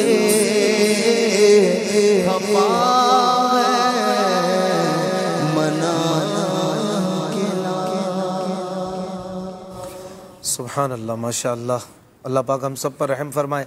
आज हो सकता है शब कद्र हो। अल्लाह पाक की रहमतों की बरसने की रात है। और हो सकता है रमज़ान मुबारक की आखिरी रात भी हो। रमज़ान पूरे का पूरा रहमत, बरकत, मगफ़रत और नजात। हमने क्या किया, इसके लिए हमें सोचते रहना चाहिए, गौर व फ़िक्र करनी चाहिए। निगरान शुरा, रहमत इलाही आज मौजू है। किस तरह से हम आखिरी अब जो रमज़ान के वक्त हैं, लम्हात हैं, इनको उम्मीद के साथ, आगे की स्ट्रेटजी को बनाने के साथ, और अल्लाह की रहमत के साथ कुछ अपनी प्लानिंग भी। यकीन अल्लाह पाक की रहमत बहुत बड़ी है, लेकिन बंदे को भी अपनी सी कोशिश करने का हुक्म है, वो भी कोशिश करता रहे, अपने आमाल में अच्छाई लाता रहे। क्या फरमाएँगे? अल्हम्दुलिल्लाह रब्बिल आलमीन वस्सलातु वस्सलामु अला सय्यिदिल मुरसलीन। माशाल्लाह तकरीबन दो सवा दो से आपका प्रोग्राम तो जारी है। और मुझे असल में पता नहीं है कि कौन कौन सी बातें यहाँ डिस्कस हो चुकी हैं बयान हो चुकी हैं। एक मौजू जहन में है कि रहमत से मायूस करने का अंजाम इस पर अगर डिस्कस हुई हो नहीं हुई। मायूस करना? जी हाँ। मायूस भी करते हैं इसराइल के एक शख्स का वाक़िया यहाँ मैं डिस्कस करूँगा। जो बड़ा आबिद था जाहिद था इबादत किया करता था। मगर अपने वाज और नसीहत और बयान में अल्लाह की रहमत से मायूसी की तरफ़ ले जाता था। अच्छा। जब वो मर गया तो ख्वाब में देखकर इस किसी ने देखा इसका हाल।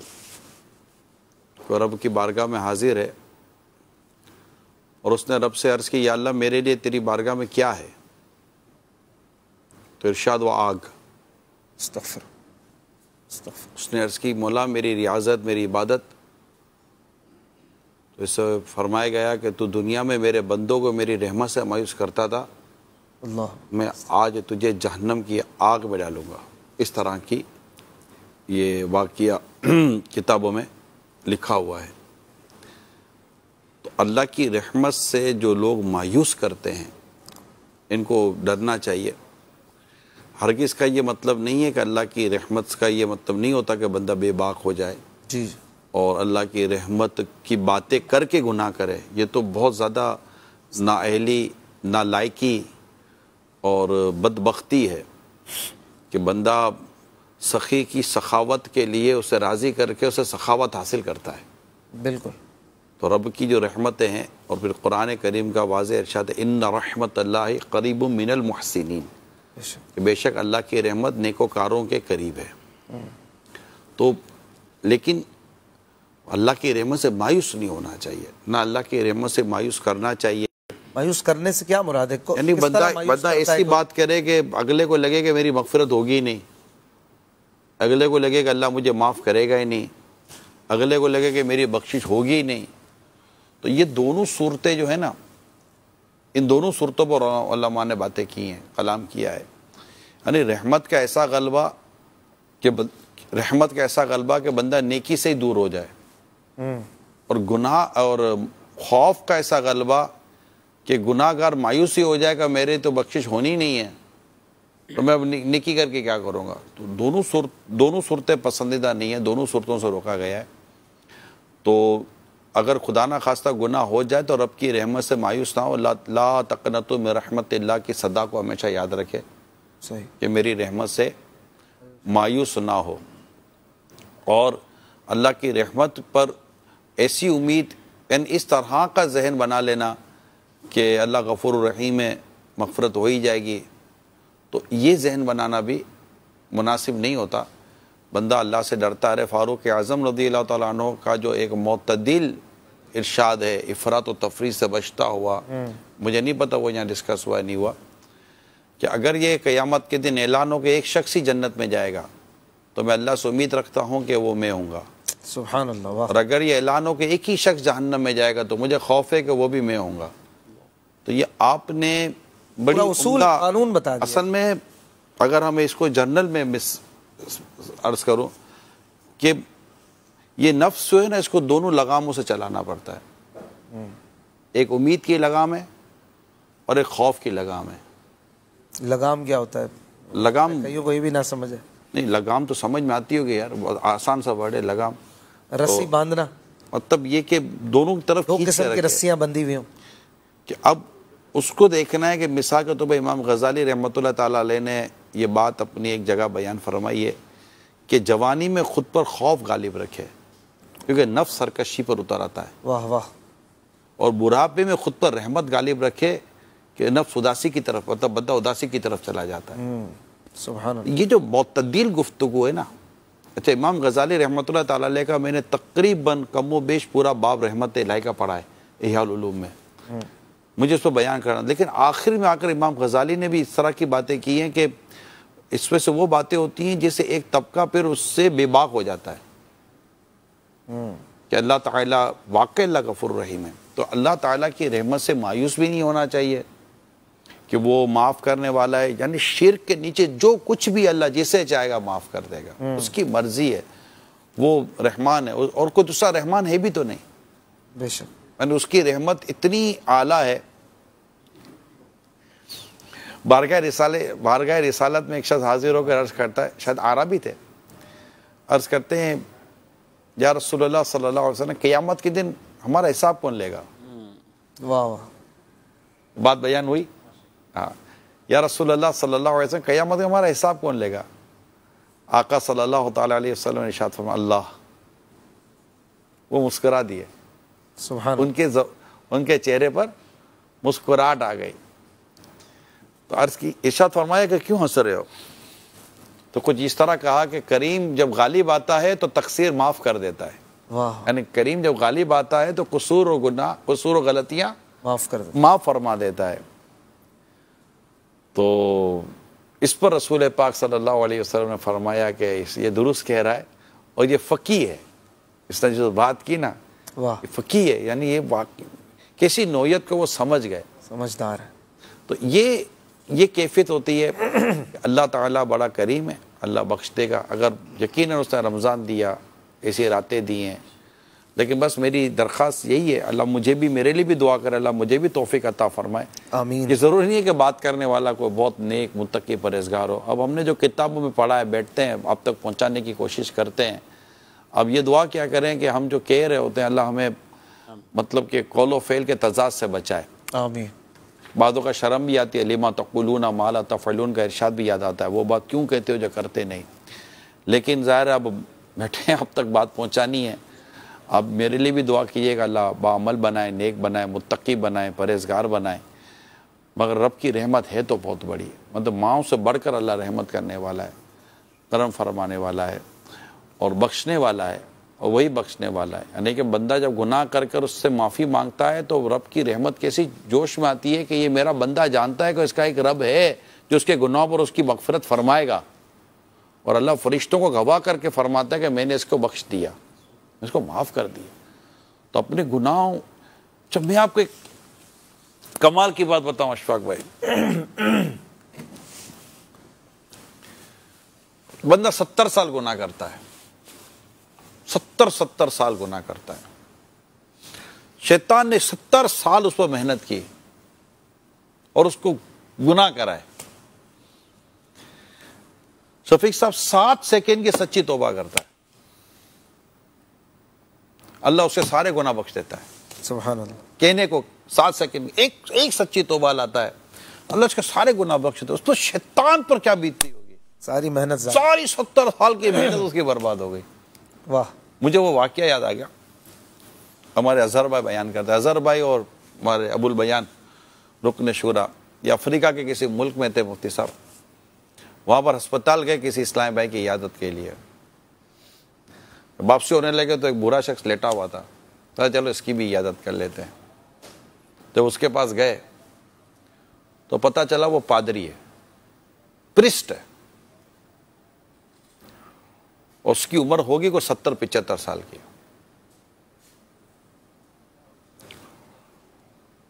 इनका बयान यह है कि हमने वहाँ उसको नेकी की दावत दी। इस्लाम की दावत। इस्लाम की दावत। दीन की दावत दी। मुफ्ती साहब कलमा पढ़ के मुसलमान हो गया। कलमा पढ़ के मुसलमान हो गया। 45 मिनट्स के बाद उसका इंतकाल हो गया। हाय हाय हाय पैंतालीस मिनट के बाद तकरीबन उसका इंतकाल हो गया। क्या बात है। आप क्या हुस्न जन रखेंगे बताएँ आप। बस ज़ाहिर उससे शायद कोई नमाज़ नहीं पढ़ी होगी। बस ज़ाहिर शायद उससे कोई रोज़ा नहीं रखा होगा। लेकिन एक वो जो खुशखबरी है हाँ। कि जो मुसलमान होता है ईमान ले आता है अल्लाह उसके साबी का सारे गुना बख्श देता है। क्या नसीब था। एक तो हम अल्लाह अल्लाह ताला से अगर अच्छा गुमान करें हुस्न जन की बात करें तो ये बनती है कि नहीं बनती? यानी ये है अल्लाह की रहमत। बेशक। उन्होंने कहा तो बंदा बरसों गुनाह करता है अल्लाह उसे तौबा की तोफ़ी अता फरमा देता है। और कैसे कैसे कैसे कैसे गुनाह बख्श दिए जाते हैं? पर यहीं पर रब की बेनियाजी को भी बंदा याद रखे। कि आदमी खूब इबादत और रियाजतें करता है और किसी लम्हे आकर वो कुफर बकर ईमान से हाथ धो बैठता है। अल्लाह। बेनियाज है। अल्लाह। वो बेनियाज है। वो हदीस शरीफ भी है ना इस तरह की? आदमी जन्नतियों वाले अमल करता रहता है यहाँ तक कि जन्नत और उसके दरमियान एक बालिश का रह जाता है। और यही जहनमियों वाले भी अमाल करता रहता है यहाँ तक कि जहन्नम और उसके दरमियान एक बालिश का फ़र्क रह जाता है। तकदीर उस पर गालिब आती है। और फिर जहनमी जो था यानी जहनमियों वाले अमल करने वाला वो अच्छे अमल शुरू कर देता है। और इस पर तकदीर गालिब आती है और ये बुरे अमल। यहाँ तक कि वो जन्नत की तरफ़ चला जाता है और ये दोजक की तरफ़ चला है। इसमें बंदे के लिए क्या सबक है? वो बहुत वो ये उसको, सब- उसको क्या करना चाहिए? इसके लिए नेक अमल करने वाले के लिए भी सबक है इस चीज़ का। और कि उसको भी हर वक्त अल्लाह ताला की खुफिया तदबीर से वो डरते भी रहना चाहिए। और ये भी ना समझ लें कि मैं बहुत नेकोकार हूँ मैंने ये सब कुछ कर लिया है। बाज़ात शैतान आदमी की नेकियाँ तो उसके सामने सजा के पेश कर देता है, उसको हर टाइम उसकी नेकियाँ याद दिलाता है, फ़लाँ फ़लाँ फ़लाँ, इतने अमल। अभी हम रमज़ान शरीफ से गुजर रहे हैं तो रमज़ान शरीफ में अमूमन एक नेकियों वाले अहमाल का गलबा होता है तो सब चीज़ें उसके सामने होती। रमज़ान के बाद की जब ज़िंदगी आती है तो यही कैफियत उसके सामने है कि बहुत कुछ किया, इस पर इतना अजर था, इस पर इतना अजर, इस पर इतना अजर है। बेशक है, लेकिन होता बाज़ अवत फिर क्या है कि शैतान उन्हीं से ही उनकी नेकियाँ दिखा के मुजयन करके सामने करता और वरगला कर उनको किसी गुनाह की तरफ़ डालता है। वो जो हदीस पाक है कि तिहामा पहाड़ जितनियाँ नेकियाँ लोग लेके आएँगे ऐसे भी होंगे तिहामा पहाड़ बहुत बड़ा पहाड़ उसकी मिसल नेकियाँ होंगी लेकिन उसके बावजूद जब अल्लाह रब्बुल आलमीन अ, उनके बारे में फैसला फरमाएगा और और नाराज़गी का इजहार करेगा तो वहाँ क्या फरमाया जाएगा?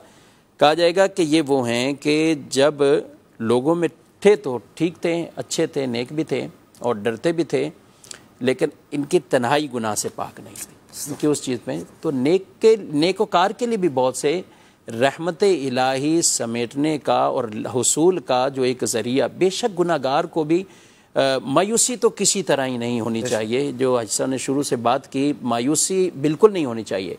लेकिन उसके साथ साथ खौफ यही हमारे बुज़ुर्गों का सलाफ का ये तरीका रहा। बशीर और नज़ीर मुफ्ती साहब। जी बिल्कुल दोनों मुफ़्त दोनों। मेरे मुस्तफ़ा करीम सल्लल्लाहु अलैहि वसल्लम बशीर भी हैं। नज़ीर भी। नज़ीर भी हैं। खुशखबरी सुनाने वाले भी हैं और डरा- डराने वाले भी हैं। इन्हें खुशखबरी सुनाने के लिए फरमाया गया और इन्हें मेरे बंदों को डराओ। इन्होंने डराया भी है। यानी हमें दोनों तरफ़ लेकर चलना है। वह अल्लाह की ये बहुत बड़ी हम सब पर रहमत है कि उसने हमें महबूब करीम की उम्मत ने पैदा किया। वो ओलमा की इस पर जो सबसे ज़्यादा उम्मीद अफजा आयत पर जब कलाम होता है जी। तो बाज़ों ने कहा ला तकना तुम रहमतिल्ला बड़ी उम्मीद अफजा है। और बाज़ों ने कहा वला सौफ युवती का रब्बु का फतरदा ये सबसे ज़्यादा उम्मीद अफजा पर ये कलाम है। जी। कि अल्लाह ताला ने हबीब करीम से फरमाया कि हम अन करीब तुम्हें इतना अता करेंगे कि तुम राज़ी हो जाओगे। ऐसी है? जी। और उस पर रसूल पाक सल्लल्लाहु अलैहि वसल्लम का रब के हजूर ये अर्ज़ करना कि मौला बात मेरी रिजा की है। उस वक्त तक राज़ी ना होगा जब सारी सारे गुलामों को जन्नत में न ले जाऊँ। मेरे आका सल्लल्लाहु अलैहि वसल्लम सबको जन्नत पे ले जाएँगे। बस ईमान अल्लाह सलामत रखे हमारा हम ईमान सलामत लेके जाएँ। मेरे आका सल्लल्लाहु अलैहि वसल्लम ये वो रहीम करीम आका हैं और अल्लाह की रहमत ही ये है। ये वो इतने रहीम और करीम आका हैं कि रब की तुम पर रहमत हुई जो तुम इनके लिए नरम दिल हुए। है ना कुरान करीम में? फबिमा रहमतें। तो अल्लाह की रहमत है कि नबी करीम सल्लल्लाहु अलैहि वसल्लम इतने रहीम व करीम हैं कि अम्बिया कराम अपने नूर के मिंबरों पर जलवा फरमा होंगे मगर मेरे मुस्तफ़ा करीम सल्लल्लाहु अलैहि वसल्लम वहाँ जलवा फरमा नहीं होंगे और फरमाएँगे कि कहीं ऐसा ना हो कि मेरा को उम्मती जहन्नम की आग में जल जाए। माँ बाप जन्नत में होंगे और इनकी औलाद, इनको तंग, इनको सताने की वजह से जहन्नम में जल रही होगी। नबी पाक सल्लल्लाहु अलैहि वसल्लम उन अपने उम्मतियों को जहन्नम से निकालने के लिए अल्लाह के इज़न से तशरीफ़ ले जाएँगे। और ये इरशाद होगा कि जब तक इनके माँ बाप राज़ी नहीं होंगे, इनको जहन्नम से नहीं निकाला जाएगा। मेरे मुस्तफ़ा करीम सल्लल्लाहु अलैहि वसल्लम है ना कि गुजरा करे पिसर पे, उनके सिवा रजा कोई हामी नहीं जहाँ। गुजरा करे पिसर पे, पिदर को खबर ना हो। मेरे आका सल्लल्लाहु ताला वसल्लम कि वो शान करीमी देखिए कि मेरे आका सल्लल्लाहु अलैहि वसल्लम इनके वालिद, इस, उस जो अजाब में मुबतला है, उसके वालिदैन के पास तशरीफ़ ले जाएँगे और वालिदैन को सिफारिश फरमाएँगे कि इन, कि तुम्हारी औलाद जहन्नम में जल रही है, माफ़ कर दो। वो इतने दुखे हुए होंगे कि रब ताला, वो इतने दुखे हुए होंगे कि वर्ष करेंगे, या रसूल अल्लाह इन्होंने हमें बहुत सताया है, हम इन्हें कैसे माफ़ कर दें? मगर मुस्तफ़ा करीम सल्लल्लाहु अलैहि वसल्लम की करीमी पर करोड़ों जाने कुर्बान यार आपकी मेरी। मेरे माँ बाप कुर्बान आल के आल कुर्बान। कुर्बान। सरकार सल्लल्लाहु अलैहि वसल्लम उन वालिदैन को ले जाएँगे इनको दिखाने के लिए। देख तो लो। देख तो लो तुम्हारे बच्चों का हाल क्या है। क्या बात है। देख तो लो तुम्हारे बच्चों का हाल क्या है। मेरा आका लाएँगे माँ बाप को और माँ बाप जब देखेंगे अपने बच्चों का अजाब में हाल तो फिर उनकी रहमत भी जोश खाएगी। और वो अपने औलाद को उनके अपनी औलाद को माफ़ कर देंगे और फिर उन्हें जहन्नम से निकाला जाएगा। ये कि कर्म किसका है? क्या बात ये कर्म मुस्तफ़ा करीम का है। हमें अल्लाह ताला ने मुस्तफ़ा करीम की उम्मत में पैदा किया है। सल्लल्लाहु वल्लाह वल्लाह वल्लाह ये उसकी इतनी बड़ी हम पर रहमत है इतनी बड़ी हम पर रहमत है कि इस रहमत का कोई मतलब शुक्र तो एक करम का भी अदा हो नहीं सकता। इतनी हम पर करम नवाजी है लेकिन आका सल्लल्लाहु अलैहि वसल्लम इंशाअल्लाह हमें जहन्नम की आग में नहीं नहीं जलने हाँ जब इकलौते को छोड़े। अब मतलब आला हज़रत ने कितनी प्यारी बात अर्ज़ की है बारगाह रिसालत में। है ये उम्मीद रजा को तेरी रहमत से शाह। रहमत से रहमत है ना? रहमत मुस्तफ़ा सल्लल्लाहु अलैहि वसल्लम। है ये उम्मीद रजा को तेरी रहमत से शाह। ना हो जिंदानी दोजख तेरा बंदा होकर। या रसूलुल्लाह मैं आपका गुलाम हूँ मैं जहन्नम के कैद खाने में मैं कैसे रहूँगा? आका सल्लल्लाहु ताला अलैहि वसल्लम रब की रहमत शामिल हल रही इनशा इंशाअल्लाह इंशाअल्लाह बल्कि बस हम तो आज की रात दुआ करते हैं हम जहन्नम की आग नहीं जहन्नम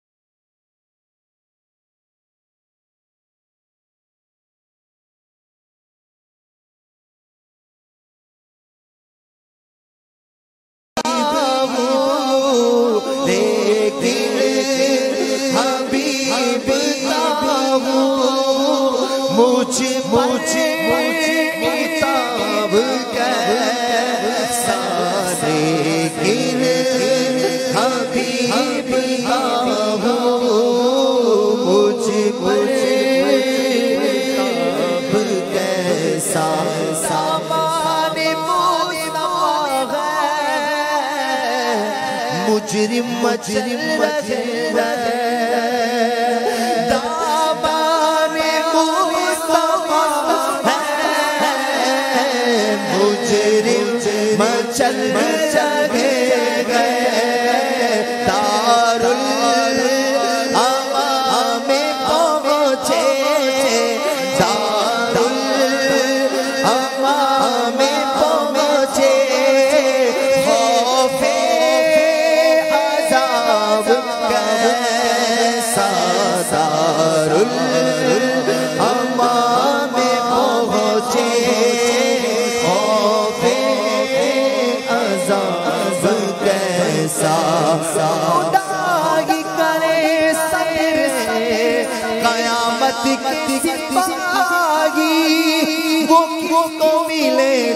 तेरे दामन छुपा हो दामा में मुस्तफ़ा मुजरिम मचल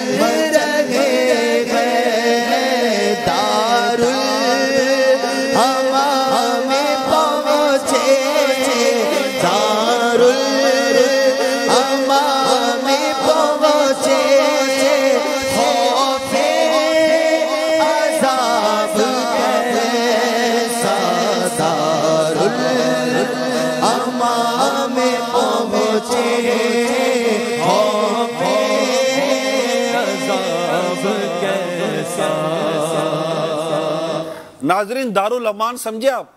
अमान की जगह अमान का घर। जहाँ अमन ही अमन है। तो हम मुस्तफ़ा करीम का जो दामन है ना ये अमान ही अमान है। जो जिसको आपने अपने दामन में ले लिया वो अमान में आ गया। तो ये मुफ्ती साहब कितनी प्यारी बात इरशाद फरमा रहे कि हम मतलब मुस्तफ़ा करीम के दामन में पहुँच गए। तो वो दारुल अमान में पहुँचे। अब दारुल अमान में जब पहुँच गए है तो खौफ अजाब कैसा वाह। मुस्तफ़ा करे जिसे दामन में ले ले आए आए वो बच गया दामाने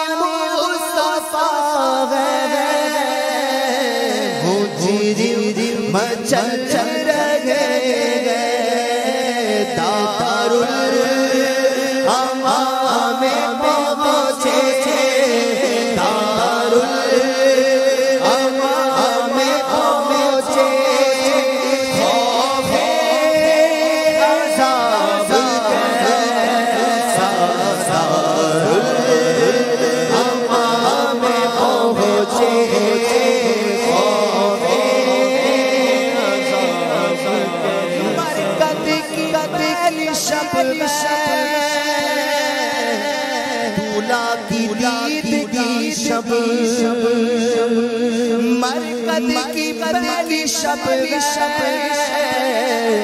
दूल्हा की दीद दी शब।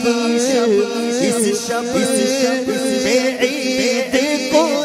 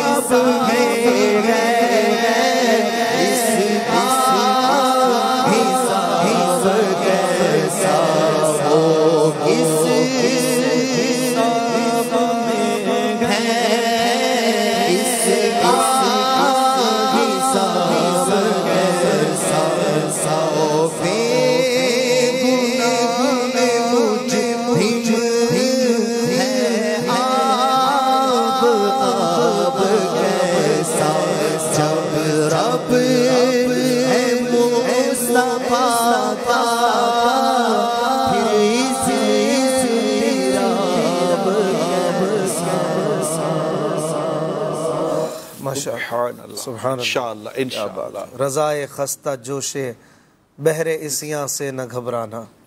कभी तो हाथ आ जाएगा दामन। उनकी रहमत का इंशाअल्लाह वो कौन सा शेर है यार?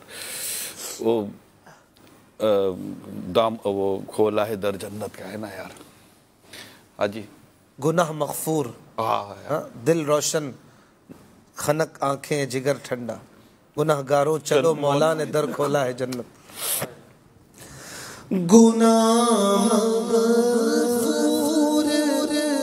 दिल रोशन आँखें जिगर ठंडा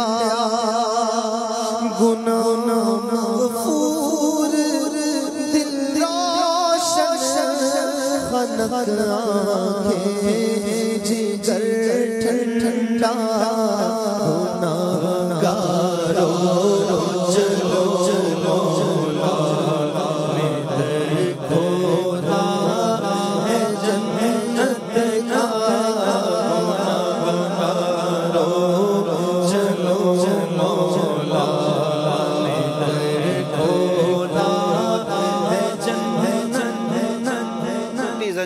वाला शेर इसके साथ इसका है पहला मिसरा कुछ और है। आज का ये दोनों मिस्र अलग अलग है हाँ। वो मोहम्मद मजहर का शायद इब्तदा याद नहीं आ रही? हाँ वो वो बहुत बहुत बहुत प्यारा कलाम है। हम ये कलाम अल्हम्दुलिल्लाह दो हज़ार पाँच में हाजी शाहिद के साथ थे हम इनके सफ़र पर। वहाँ। हाजी शाहिद ये पढ़ा करते थे गाड़ी में यही कलाम सुना करते थे। और गुनाहगारो चलो मौला ने दर खोला है जन्नत का। सफ़े मातम उठे खाली सफ़े मातम उठे खाली हो ज़िंदा। टूटे- जंजीरें। गुनाहगारो चलो मौला ने सर खोला है। जब सफ़े मातम उठे।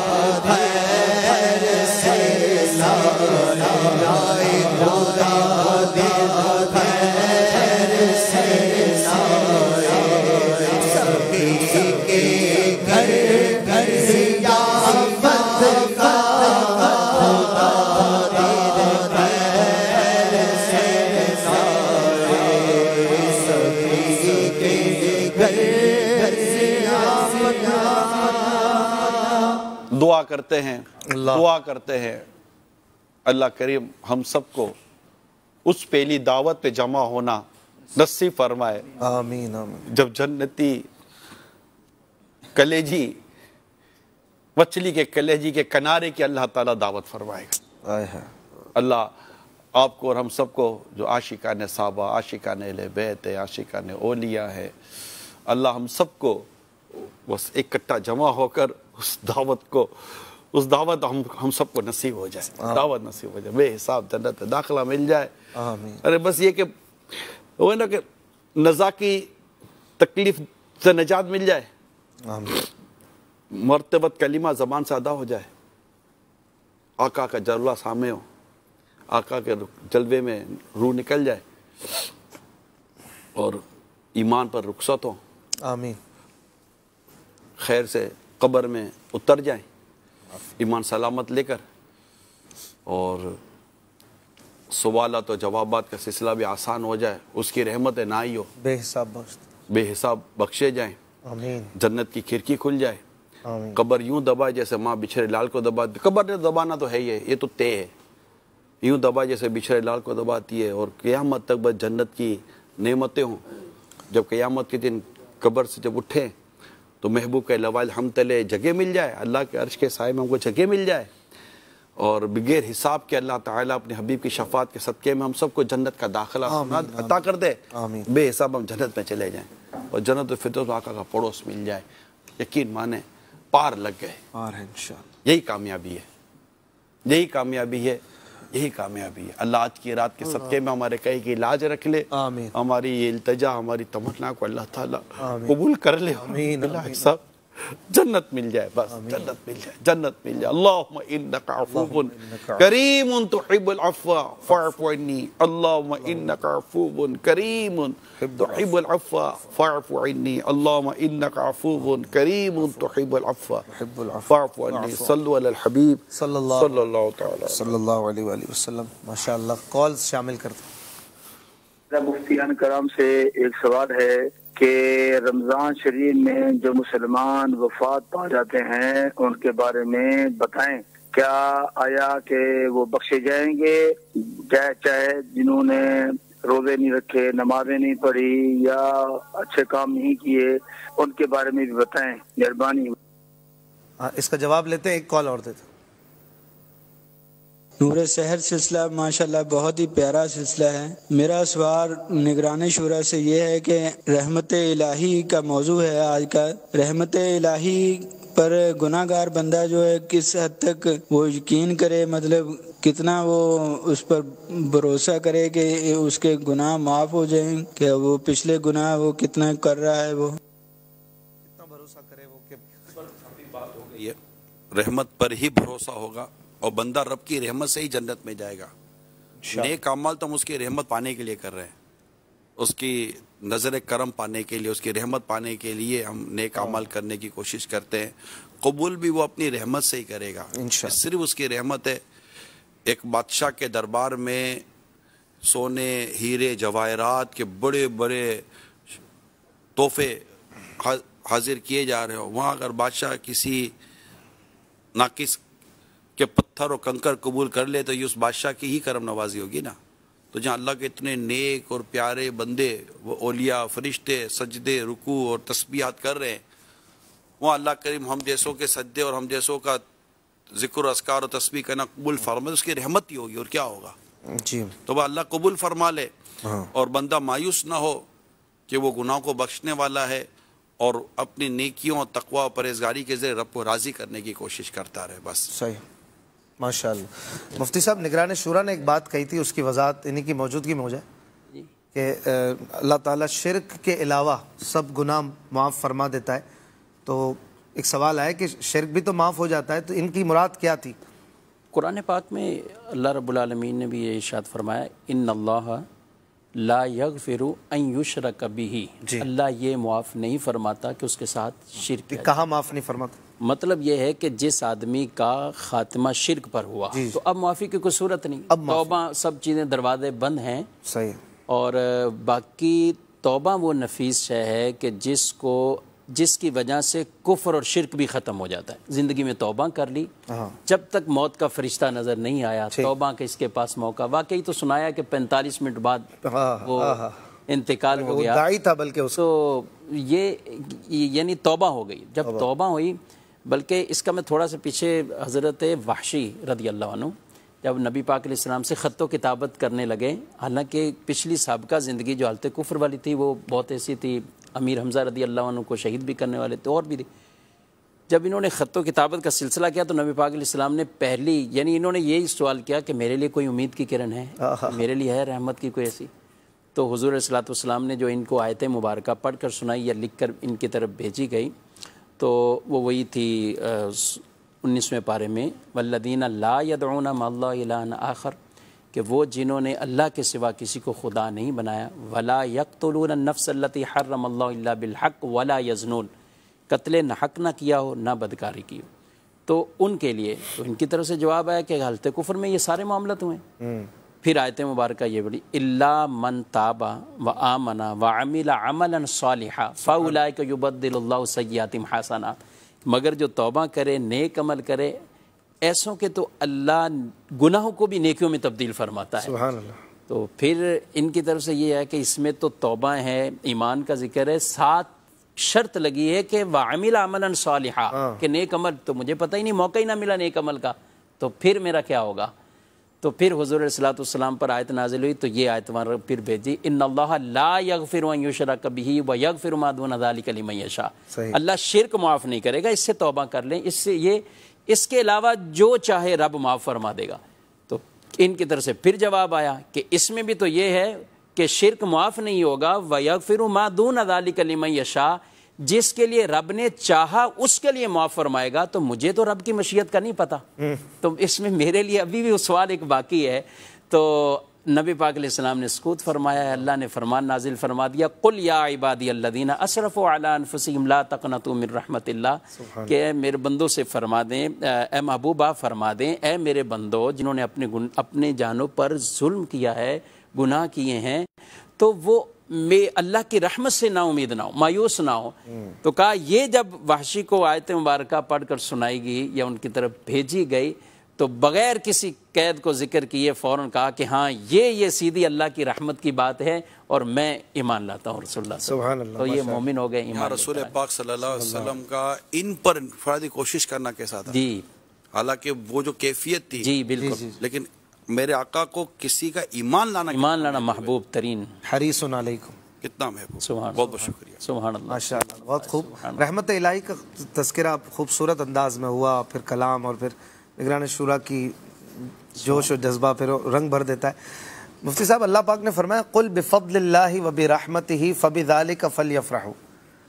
यानी अल्लाह पाक ने अपनी रहमत पर रिएक्ट कैसे करना है उसके लिए क्या अंदाज इख्तियार किया जाए? इस पर यह आयत मुबारक से भी हमें तरबियत मिलती है। इस आयत पर क्या फरमाएँगे? कि अल्लाह ताला ने अपनी रहमत पर जो हमें हुक्म दिया है। उस पर खुशी करने का हुक्म दिया है कि अल्लाह की रहमत पर और अल्लाह के फ़ज़ल पर वो खुशी की जाए। अल्लाह की रहमतें मुख्तलिफ़ अंदाज से हमें नसीब भी हुई हैं और उसमें बतौर ख़ास इस आयत मुबारक पर जब उलमा बहस करते हैं तो वो रहमत से मुराद कुरान पाक भी लिया जाता है। इस आयत मुबारक से रहमत से मुराद जनाब रसालत महाब सल्लल्लाहु अलैहि वसल्लम की ज़ात मुबारक है कि अल्लाह ने भी इनके इनको रहमत आलमीन बनाकर दुनिया में भेजा जो कि हमारे लिए उम्मतियों के लिए ये हरीस हैं और उम्मतियों का मुशक्क़त में पढ़ना वो इन पर गिरा गुजरता है और ये भी अल्लाह की वो रहमत हैं और इनको रब ने अपना तारुफ फरमाया कुरान में अल्हम्दुलिल्लाह रब्बिल आलमीन और महबूब का किया है वमा अरसलना का इल्ला रहमत आलमीन। अल्लाह रब्बुल आलमीन है ये रहमतुल्लिल आलमीन है। तो आलमीन के अंदर लोगों के अंदर इनको ऐसा तमाम आलमीन के लिए रहमत बनाया गया। हुजूर की रहमत तो और आपकी ज़ात वो रहमत बनकर कि कुरान पाक में ये भी इरशाद फरमा दिया वमा कान अल्लाहुद्दीबन तफ़ीम ए महबूब आप इनमें इनके इलाके में इनके शहर में यानी मक्का में तो अल्लाह की ये शान नहीं है कि आपके होते हुए इन्हें अजाब में मुबतला। अल्लाह की ये नहीं। यानी ये हिस्सा रब की ये रहमत ही है हुजूर का सदका कि ये उनको ही मिला कि यक बारगी कोई ऐसा अजाब नहीं आया। अल्लाह के पिछली हम किताबों में या कुरान पाक के अंदर जो पिछली उम्मतों के अहवाल पढ़ते हैं जिन्होंने अम्बिया की नाफरमानी की बात नहीं मानी या सताया कोई इस तरह के मामला तो उन पर अजाब भी आए। और यक बर्गी ऐसे अदाब आए कि तबाह होगी पूरी पूरी कौम में बस्तियाँ तबाह हुई। लेकिन रसुल्ला सल्लल्लाहु अलैहि का सदका ये मिला है। हम तो नबी पाक से यही उम्मीदें और नबी पाक की रहमत आपकी शफात इस पर इस तरह तगो दो ये आदमी को माशा सरापा रहमत है। जी। और मुफ्ती साहब लिखते हैं मुफ्ती अहम कनीमी रहमत अलैह। कि आकद व जहाँ सल्ला वसलम जिस पर नज़र रहमत फरमाते हैं वो ही नेकियाँ करता है। अच्छा। वाह। तो नेकियाँ करता है नेकी की राह पर चलता है तोबा करता है ये रहमत आलमीन की नज़र शफकत है रहमत है करम है कि वो नेकियों का रास्ता चल रहा है। अगर हुजूर की नज़र रहमत हट गई तो वह गुनाहों की तरफ़ चल पड़ता है। इसलिए हमें नबी पाक रहमतुल्लिल आलमीन सल्लल्लाहु अलैहि वसल्लम से रहमत की भीख मांगनी चाहिए। हुजूर नज़र करम फरमाए ताकि मैं नेकियों की तरफ़ लगा रहा। हूँ माशाल्लाह सुभान अल्लाह। नाज़रीन जिसे पाक अशफाक भाई। जी, जी। इरशाद फरमाया गया कि क़यामत के दिन एक बंदा लाया जाएगा जो कि एक पहाड़ की चोटी पर 500 साल इबादत करता रहा।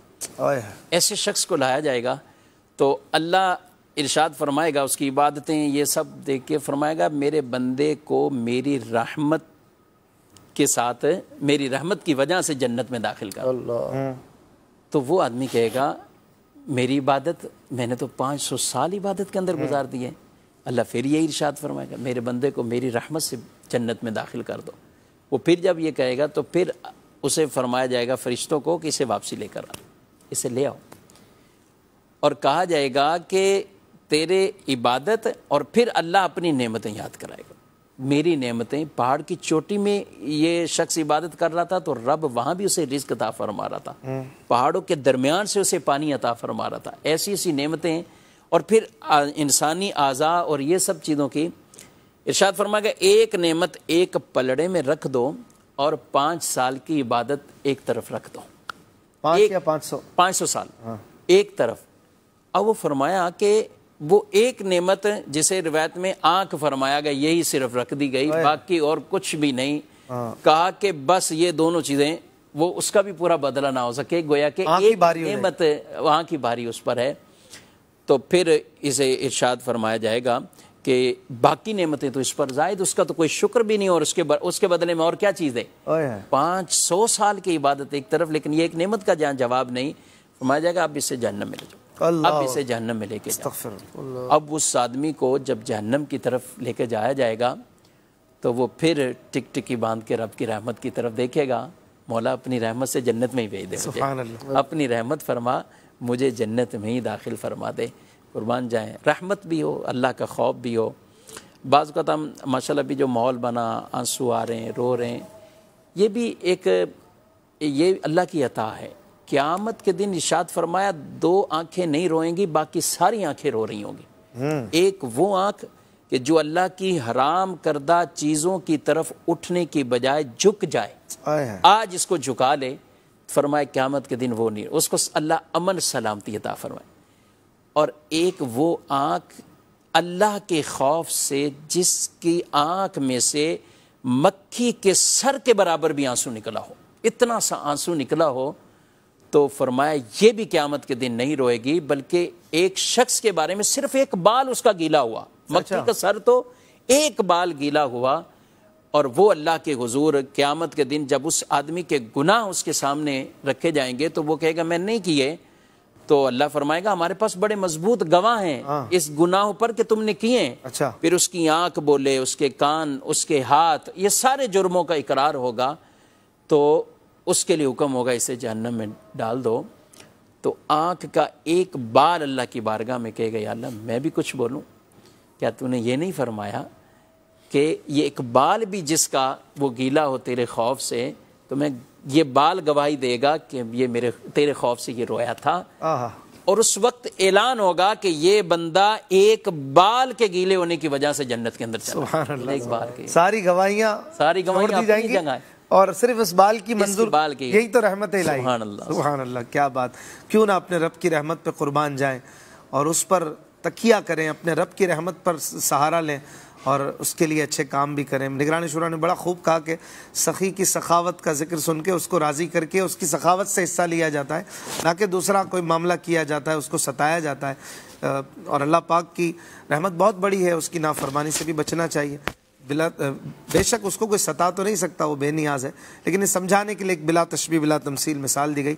आइए चलते हैं अपने सेगमेंट की तरफ़ तहजीब और अखलाक में देखते हैं आज हमें क्या सिखाया जा रहा है।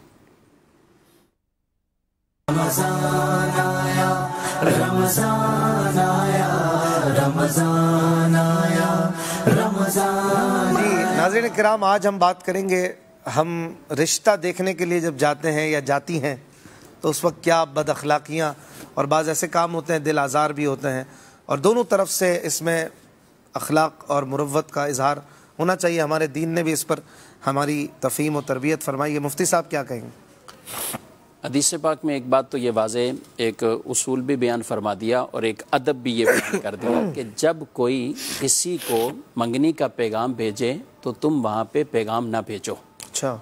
जब कि किसी दूसरे की बै पर एग्रीमेंट कोई हो रहा है तो उस पर तुम ना करो।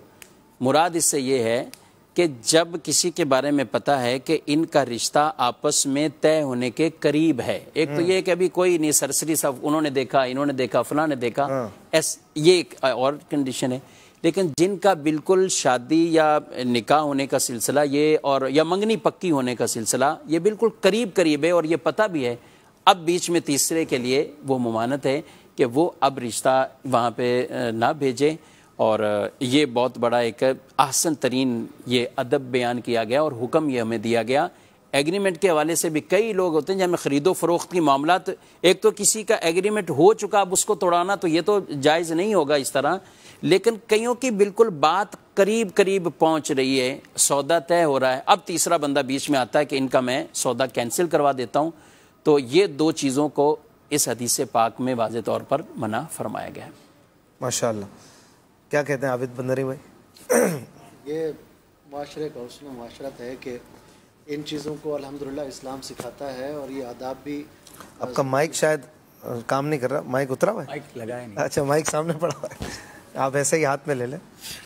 जी मैं अर्ज़ कर रहा था कि ये इस्लाम का एक हुस्न है कि इन आदाब को भी इस्लाम सिखाता है कि माशरे के अंदर किस तरह रहना है और इन चीज़ों को किस तरह लेकर चलना है किसी की दिल आज़ारी ना हो। सही मुसलमान को तकलीफ़ ना हो बुनियादी चीज़ ही है तो इन मामलात में ज़ाहिर है दूसरों को तकलीफ़ होगी तो इससे बचना बेहद ज़रूरी है। बिल्कुल माशा मौलाना अब्दुल हबीब अत्तारी साहब भी आ चुके हैं और हम अपने टॉपिक पर भी बात करेंगे आपकी कॉल्स भी लेंगे मुख्तसर वक्त में। रोज़ाना ही आपके साथ बहुत सारी बातें होती हैं नहीं हो पाती। आपके अप, अपने शेड्यूल्स होते हैं। रिश्ते को देखते हुए जो बाज़ बद अखलाकियाँ होती हैं उन पर मुख्तसर। में बिलखसूस कुछ लोगों का या इस पर ख़वातीन का ज़्यादा किरदार होता है कि वो जब किसी बच्ची को देखने जाते हैं तो बच्ची को देखकर फिर उसे मना करना ये वाकई बहुत तकलीफ़ दे अमल होता है। अच्छा जिनके घर जा रहे हैं उन्होंने तैयार भी होना है उन्होंने खाने पीने का इंतज़ाम भी अच्छा करना है तो मेरा मेरी इसमें गुजारिश ये है कि इसमें थोड़ी देर के लिए ये अज्यूम करें कि या ये सोचें कि अगर मेरी बच्ची के साथ ऐसा हो कि लोग आएँ देख कर और फिर बाज़ों का तो सामने सामने कह देते हैं कि नहीं, इनका तो कद छोटा है तो इनका रंग सांवला है तो हम तो कुछ और समझ कर आए थे। तो आपने अगर देखने जाना है ना तो ये आखिरी चीज़ होनी चाहिए। अब तो बड़ा आसान हो गया है। पहले भी ये होता था कि भाई किसी दावत में मिल लिया किसी दावत में बात कर ली देख लिया बच्ची को। अब वो समझ आ रही है लड़की तो फिर अपने बेटे का रिश्ता लेकर गए।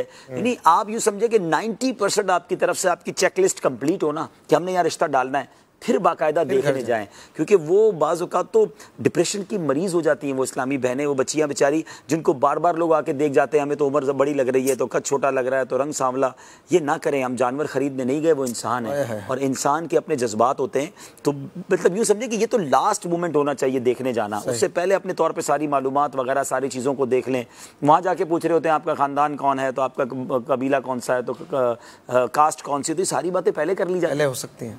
इसी तरह इसमें बहुत ख्याल रखना चाहिए और फिर यहाँ ये बात भी अर्ज़ करूँगा कि रिश्ता करने में जो सबसे प्रियोरिटी देनी चाहिए वो दीन को देनी चाहिए अकायद को देनी चाहिए ईमान को देनी चाहिए कि उनका ईमान व अकीदा क्या है क्योंकि अब आपने अपने बच्चों को सारी ज़िंदगी अगर साहबा कराम की अलिया कराम की नबी पाक अलैहिस्सलाम की मोहब्बत पिलाई है और अगर बच्ची है तो उसको पर्दा सिखाया है और रिश्ता वहाँ कर दिया कि जहाँ उसका पर्दा ही उतरवा दिया या जनाब वहाँ अल्लाह वालों का नाम लेना ही उनके नज़दीक दुरुस्त नहीं है तो फिर बाज़ मिलते भी हैं वालिद सर पकड़ के रो रहे होते हैं कि यार बच्ची तो मैंने तो ये तरबियत की थी वहाँ जाके फंस गई। तो आपने ही तो किया ही है।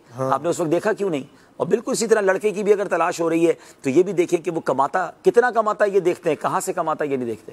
तो हराम कमाने वालों के यहाँ रिश्ता नहीं होना चाहिए। तो इन अगर इस तीन तमाम चीज़ों का एहतियात करेंगे तो बेहतर ठीक है माशाल्लाह। आज हो सकता है हमारा लास्ट प्रोग्राम हो और हाय हाय हाय मे कल भी हमारा इंशाल्लाह अगर ईद हो जाती है ईद की रात तो भी इन मदनी मुजाकरे के बाद हमारा इस्तबाल ईद के हवाले से प्रोग्राम रहेगा। आप इंशाल्लाह देखेंगे, मदनी फूलों का सिलसिला रहेगा। वैसे भी मार्केटें बंद हैं और घरों में मदनी चैनल का सहारा बहुत सारों के लिए बना हुआ है। तो इंशाल्लाह प्रोग्राम भी रहेगा। आप मदनी चैनल के साथ ही ईद गुजारें और ईद की रात भी, रात गए तक प्रोग्राम भी रहेगा। उम्मीद है कि इंशाल्लाह रुकन शुरा मौलाना अब्दुल हबीब अत्तारी साहब भी होंगे और भी हमारे मुबल्लिगीन इंशाल्लाह होंगे। कॉल्स शामिल करते हैं। मेरा नाम अयान है मैं कराची से बात कर रहा हूँ। मेरा सवाल ये है कि जब अल्लाह की रहमत से इतनी ज़्यादा उम्मीद होनी चाहिए तो फिर खौफ कैसे हो? यानी खौफ और उम्मीद के दरमियान बैलेंस कैसे हो? जजाकल्लाह। आमीन। अ, अब्दुल हबीब भाई। बहुत प्यारा सवाल है ये और एक्चुअली ईमान जो है ना बेसिकली ईमान की तारीफ़ में बड़ी प्यारी बात फरमाई कि अल ईमान बैन अल खौफ वर रिजा। ईमान उम्मीद और खौफ के दरमियान ही शय का नाम है। और आपके सवाल का जवाब हज़रत उमर रदी अल्लाह तला कि कितना बड़ा उनका मरतबा है तो वो फरमाते हैं कि अगर मुझे क़यामत के दिन ये ऐलान हो कि सब जहन्नम में जाएँगे, सारे लोग जहन्नम में जाएँगे, एक बंदा जन्नत में जाएगा तो मुझे अल्लाह की रहमत से इतनी उम्मीद होगी कि वो जन्नत में जाने वाला मैं हूँगा। और अगर ये ऐलान हो कि सारे जन्नत में जाएँगे, एक दो में जाएगा तो मुझे ये खौफ होगा कहीं वो अकेला जहन्नम में जाने वाला मैं ना हूँ। तो इसका मतलब ये हुआ कि हमने खौफ भी रखना है उम्मीद भी रखनी है। दोनों एक्सट्रीम हैं। कुछ लोग इतनी उम्मीद रखते हैं कि भाई अल्लाह माफ़ करने वाला जो करना है करो। ये भी रॉन्ग है। और कुछ लोग ये कहते हैं कि इतने गुनाह हो गए मेरी तो माफ़ी होगी नहीं मैं तो बख्शा ही नहीं जाऊँगा। ये भी गलत है। तो गुनाह हो जाए तो तौबा करे और अल्लाह की रहमत पर उम्मीद रखे। और बस ये हमेशा जहन होना चाहिए कि मैं अपने अमाल के सबब नहीं अल्लाह की रहमत से ही बख्शा जाऊँगा। उस करीम ने करम किया तो ही बख्शा जाऊँगा इन इंशाल्लाह। बाज़ लोग रमज़ान भर अच्छे काम कर लेते हैं तरावी भी पढ़ ली। और सदका व खैरात भी कर लिया कुछ तिलावत भी कर ली। और रमज़ान के बाद उनके दिल में ये होता है कि यार हमने बहुत कुछ कर लिया। अब थोड़ा अरसा ना भी करें तो कोई फ़र्क नहीं पड़ेगा। माजल्ला और फिर वो प्लान्स भी होते हैं कुछ कुछ दोस्त कुछ शैतान भी छूटा होता है। तो आगे किस तरह रमज़ान वाले कामों को कंटिन्यू कर सकें? देखिए यही यही तो हमने समझना है कि ये तो हमारी प्रैक्टिस करवाई गई। वो कहते हैं ना स्पोर्ट्समैन नेट प्रैक्टिस होती है फिर असल मुकाबला होता है। ये तो एक महीना प्रैक्टिस करवाई है शैतान के मुकाबले के लिए। और शैतान छूटा नहीं और हम भागे नहीं मस्जिदों से।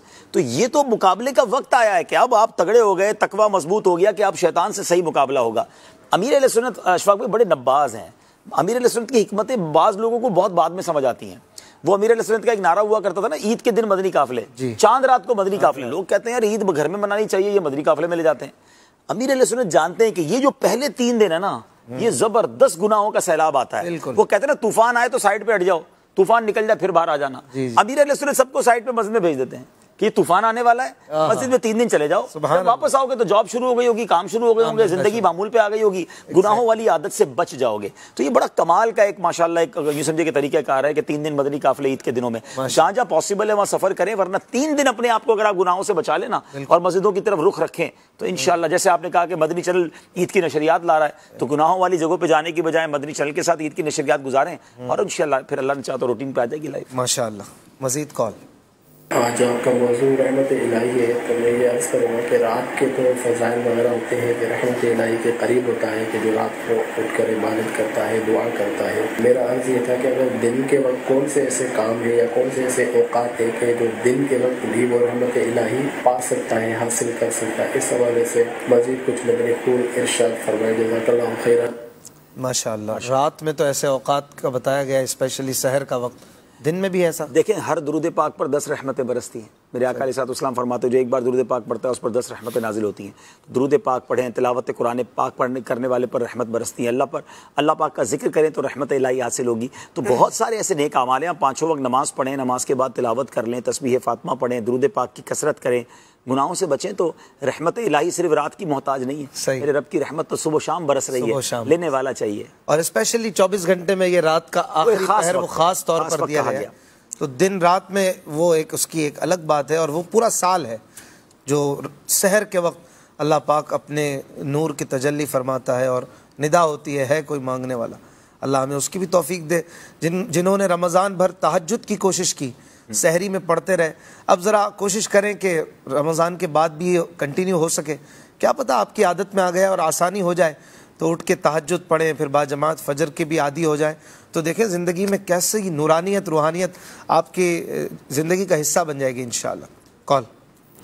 नाम सैयद असान रजा है मैं हैदराबाद से बात कर रहा हूँ। अशफाक अंकल, आप रमज़ान के साथ साथ आप भी चले जाएँगे। मैं आपको एक शेर सुनाना चाहता हूँ। जब गुजर जाएँगे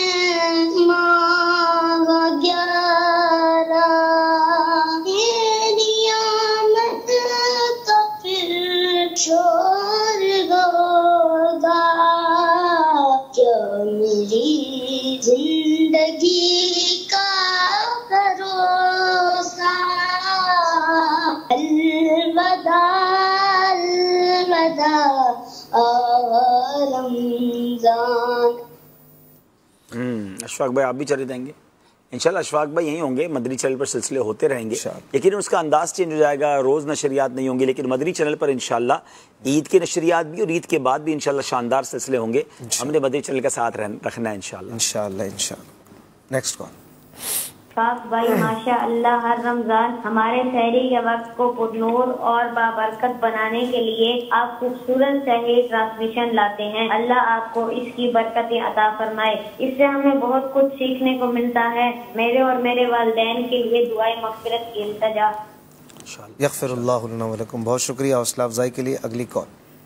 फाबी माशाल्लाह नूर शहर बहुत ही प्यारा और मज़ेदार सिलसिला है और आज तो माशाल्लाह रहमत इलाही मौजू है, बहुत ही प्यारा।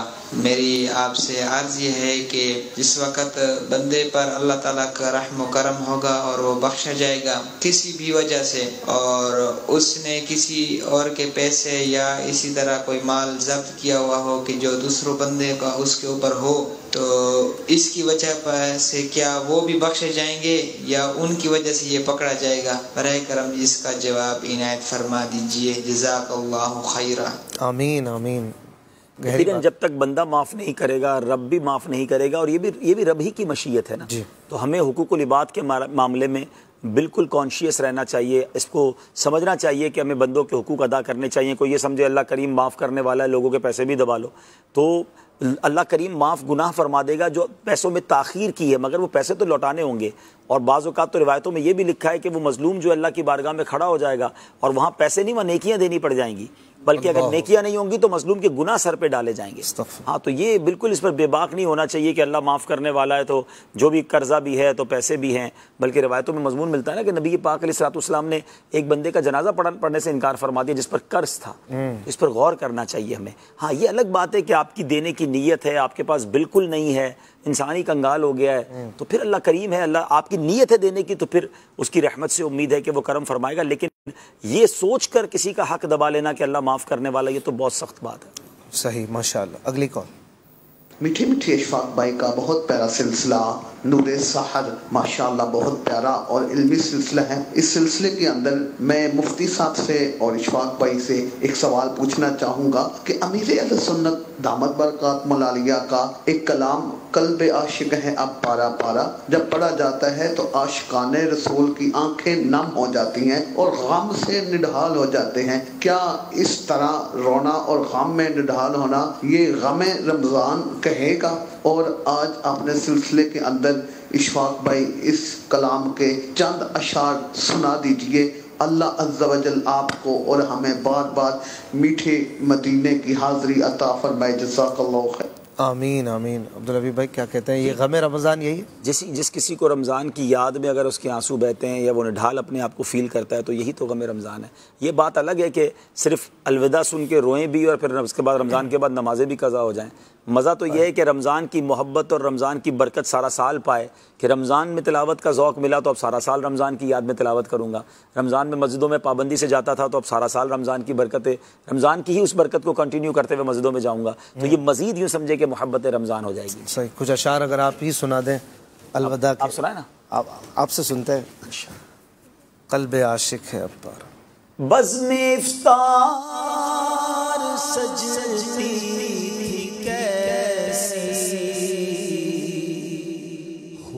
सहरी की रौनक भी होती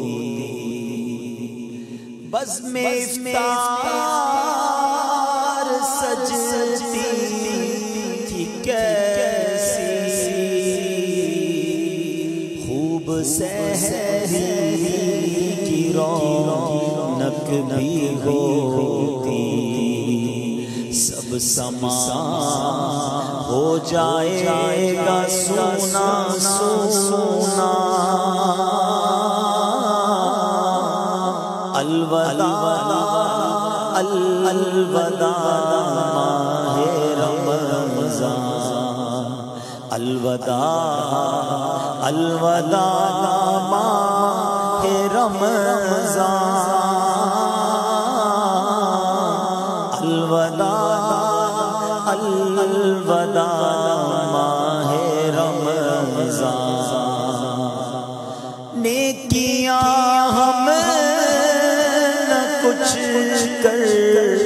सके हैं।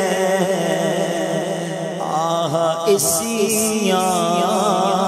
में दिन कटे हैं।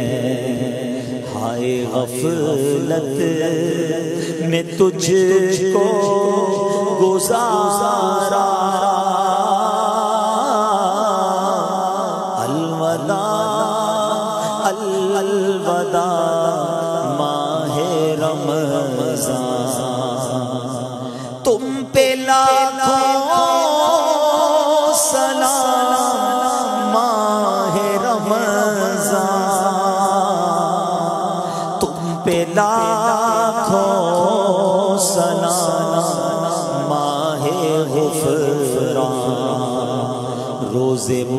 shut it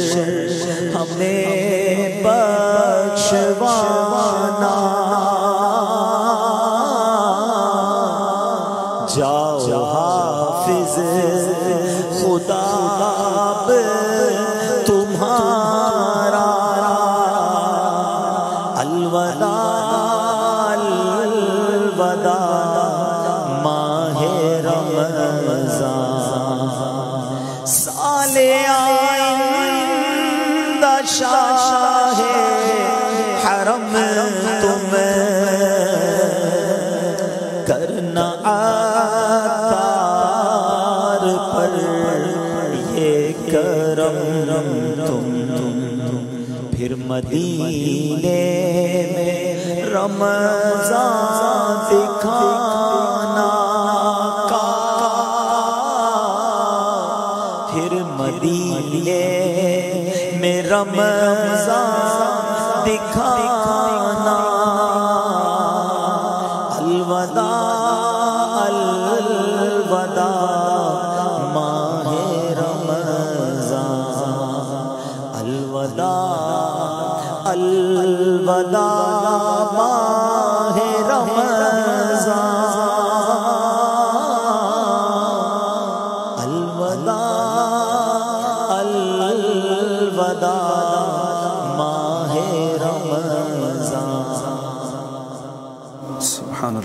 अल्लाह हमें रमज़ान की सच्ची मोहब्बत अता फ़रमाए।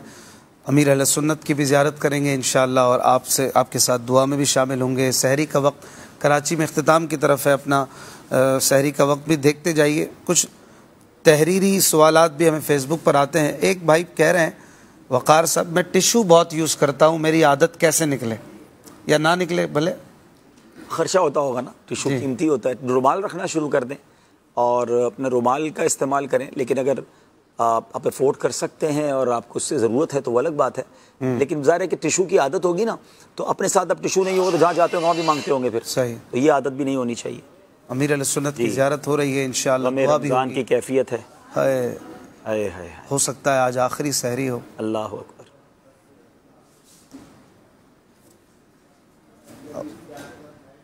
वहाँ मेरा ख्याल कलाम भी चल रहा है। आवाज़ खोल दें भले वहाँ से जी जी जी।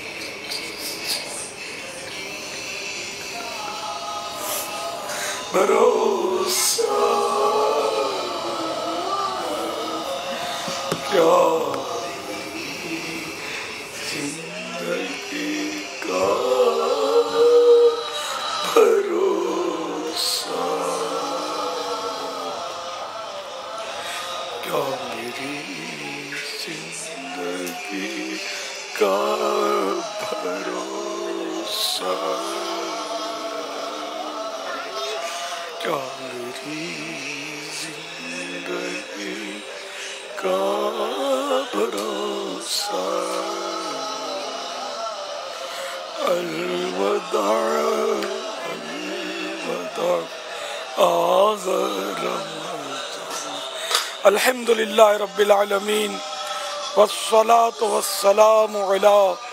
खातमिन नबिय्यीन या अरहमर या अरहमर या अरहमर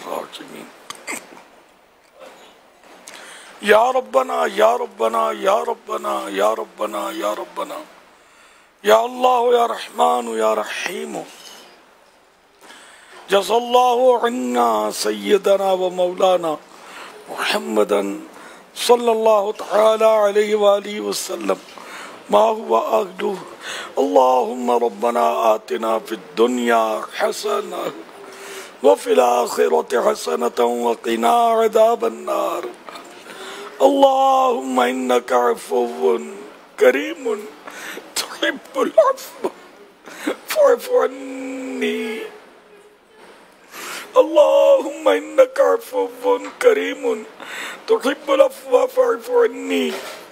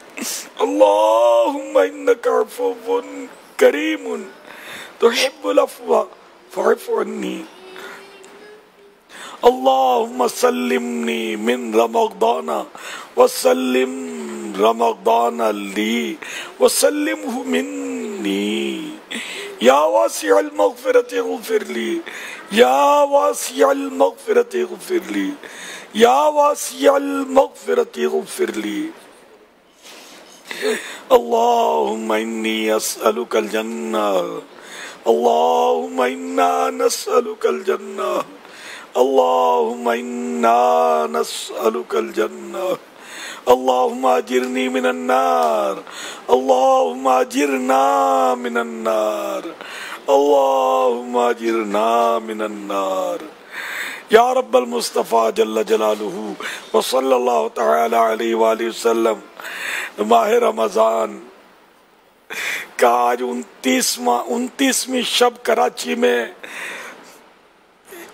एक दो मिनट बाकी रह गए ये उनतीसवीं शब भी हमें छोड़कर रुखसत हो रही है। इलामीन रमज़ान बिल्कुल बॉर्डर पर आ गया। अन करीब हमसे जुदा हो जाएगा और हमने ये सारा महीना गफलत में गुजार दिया। या अल्लाह, कोई इबादत ना बजा ला सके। ऐ मौला, जिनकी इबादतें, रियाजतें, नमाजें, रोज़े कबूल हुए, उन्हीं का सदका हमारी टूटी फूटी नमाजें रोज़े कबूल कर ले। या अल्लाह पाक, जिनको तूने माह रमज़ान में बख्शा, उन्हीं का सदका हमारी भी बख्शिश फरमा दे, जिन्हें तूने माह रमज़ान में जहन्नम से आज़ादी से मुशर्रफ फरमाया, उन्हीं का सदका हमें भी नवाज़ दे। अल्लाह पाक, हमें जहन्नम से आज़ादी नसीब कर दे। या अल्लाह पाक हमें जहन्नम से आज़ाद कर दे। ऐ परवरदिगार, हमें जहन्नम से आज़ाद कर दे। हमें मुआफी से नवाज़ दे। हमें मुआफ कर दे। हमारी खताएँ मुआफ कर दे। अल्लाहुम्मा इन्नका अफुवन करीमुन तुहिब्बुल अफवा। फअफ़ु अन्नी। अल्लाहुम्मा इन्नका अफुवन करीमुन तुहिब्बुल अफवा। फअफ़ु अन्नी। अल्लाहुम्मा इन्नका अफुवन करीमुन तुहिब्बुल अफवा फअफ़ु अन्नी या अल्लाह पाक कोरोना की आफत दुनिया से चली जाए ए अल्लाह पाक कोरोना के मरीज़ शिफा याब हो जाएँ ए अल्लाह पाक हमारे तमाम बीमारों पर रहमत की नज़र फरमा ए अल्लाह पाक सारी हमारी जिस्मानी बीमारियाँ रूहानी बीमारियाँ दूर हो जाएँ और हम बीमार मदीना बन जाएँ। या अल्लाह जिस्मानी दर्द दूर हो जाएँ। या अल्लाह पाक हमें दर्द मदीना नसीब हो जाए। इलामीन दुनिया की मोहब्बत हमारे दिलों से निकल जाए और तेरी और तेरे प्यारे हबीब की सच्ची मोहब्बत हमारे दिलों में समा जाए। ए अल्लाह हमें आशिक रसूल, आशिक सहाबा अहल बैत और आशिक अलिया किराम बना दे। या अल्लाह पाक अपनी पसंद का बंदा बना दे। ए अल्लाह पाक, मुसीबत जदों की मुसीबतें दूर कर दे, जो मुश्किलात में घिरे हैं, मुश्किलात हल कर दे। या अल्लाह पाक बेरोजगारों को हलाल और आसान रोजी अता फरमा। या अल्लाह पाक मकरूजों के कर्जे उतर जाएँ, जिनकी रकमें फंसी है, इनके हकूक मिल जाएँ। इलामीन जो झूठे केस में फंसे हैं, निकल आए। या अल्लाह,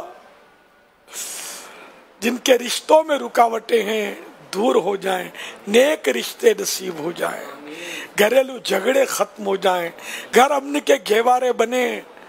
अल्लाह पाक मजलूम कैदी रिहा हो जाए।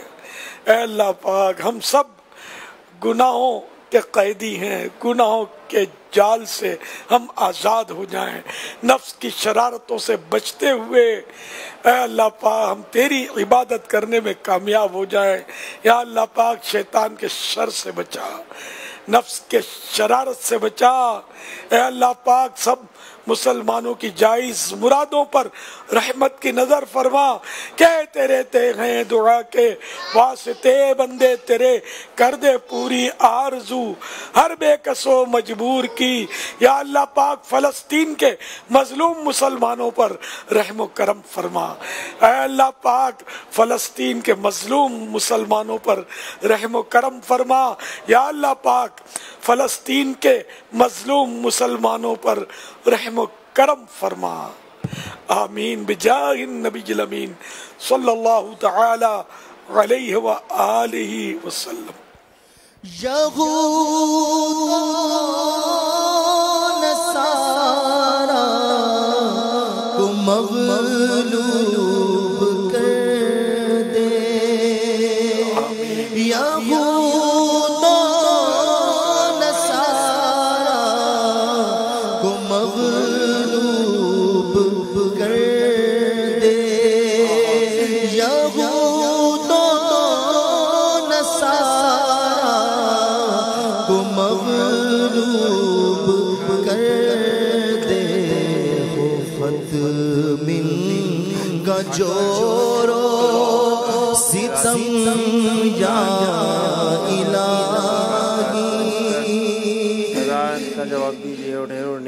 नेकियाँ कमाई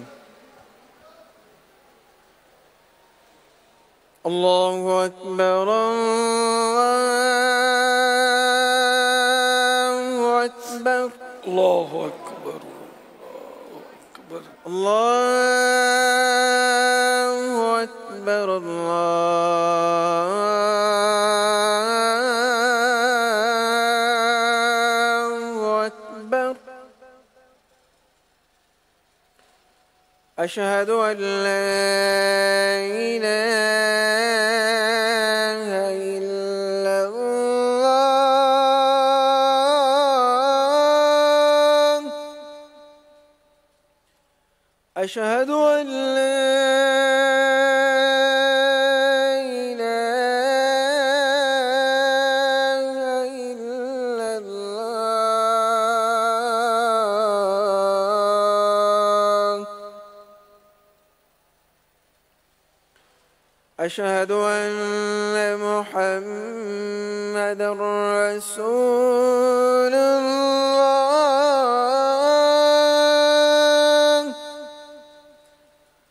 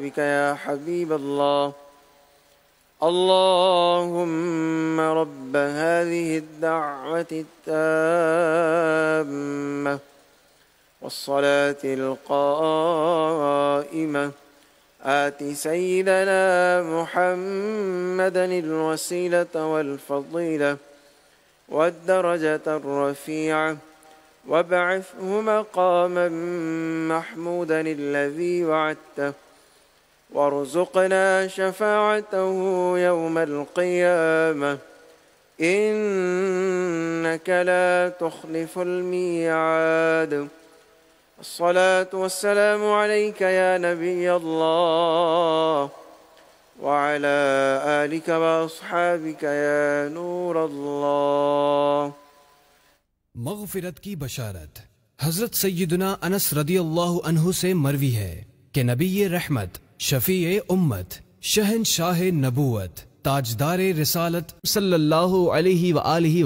वसल्लम ने फरमाया, जिसने नमाज़ के बाद ये कहा तो वो मगफिरत याफ्ता होकर उठेगा। सुबहान अल्लाहिल व बिहम्दिही, ला हौला वला कुव्वता इल्ला बिल्लाह। तर्जमा, पाक है अजमत वाला रब, और उसी की तारीफ़ है, और उसी की अता से नेकी की तौफीक। और गुनाह से बचने की कुवत मिलती है। आइए, प्रोग्राम मोमिनों के आला औसाफ देखिए।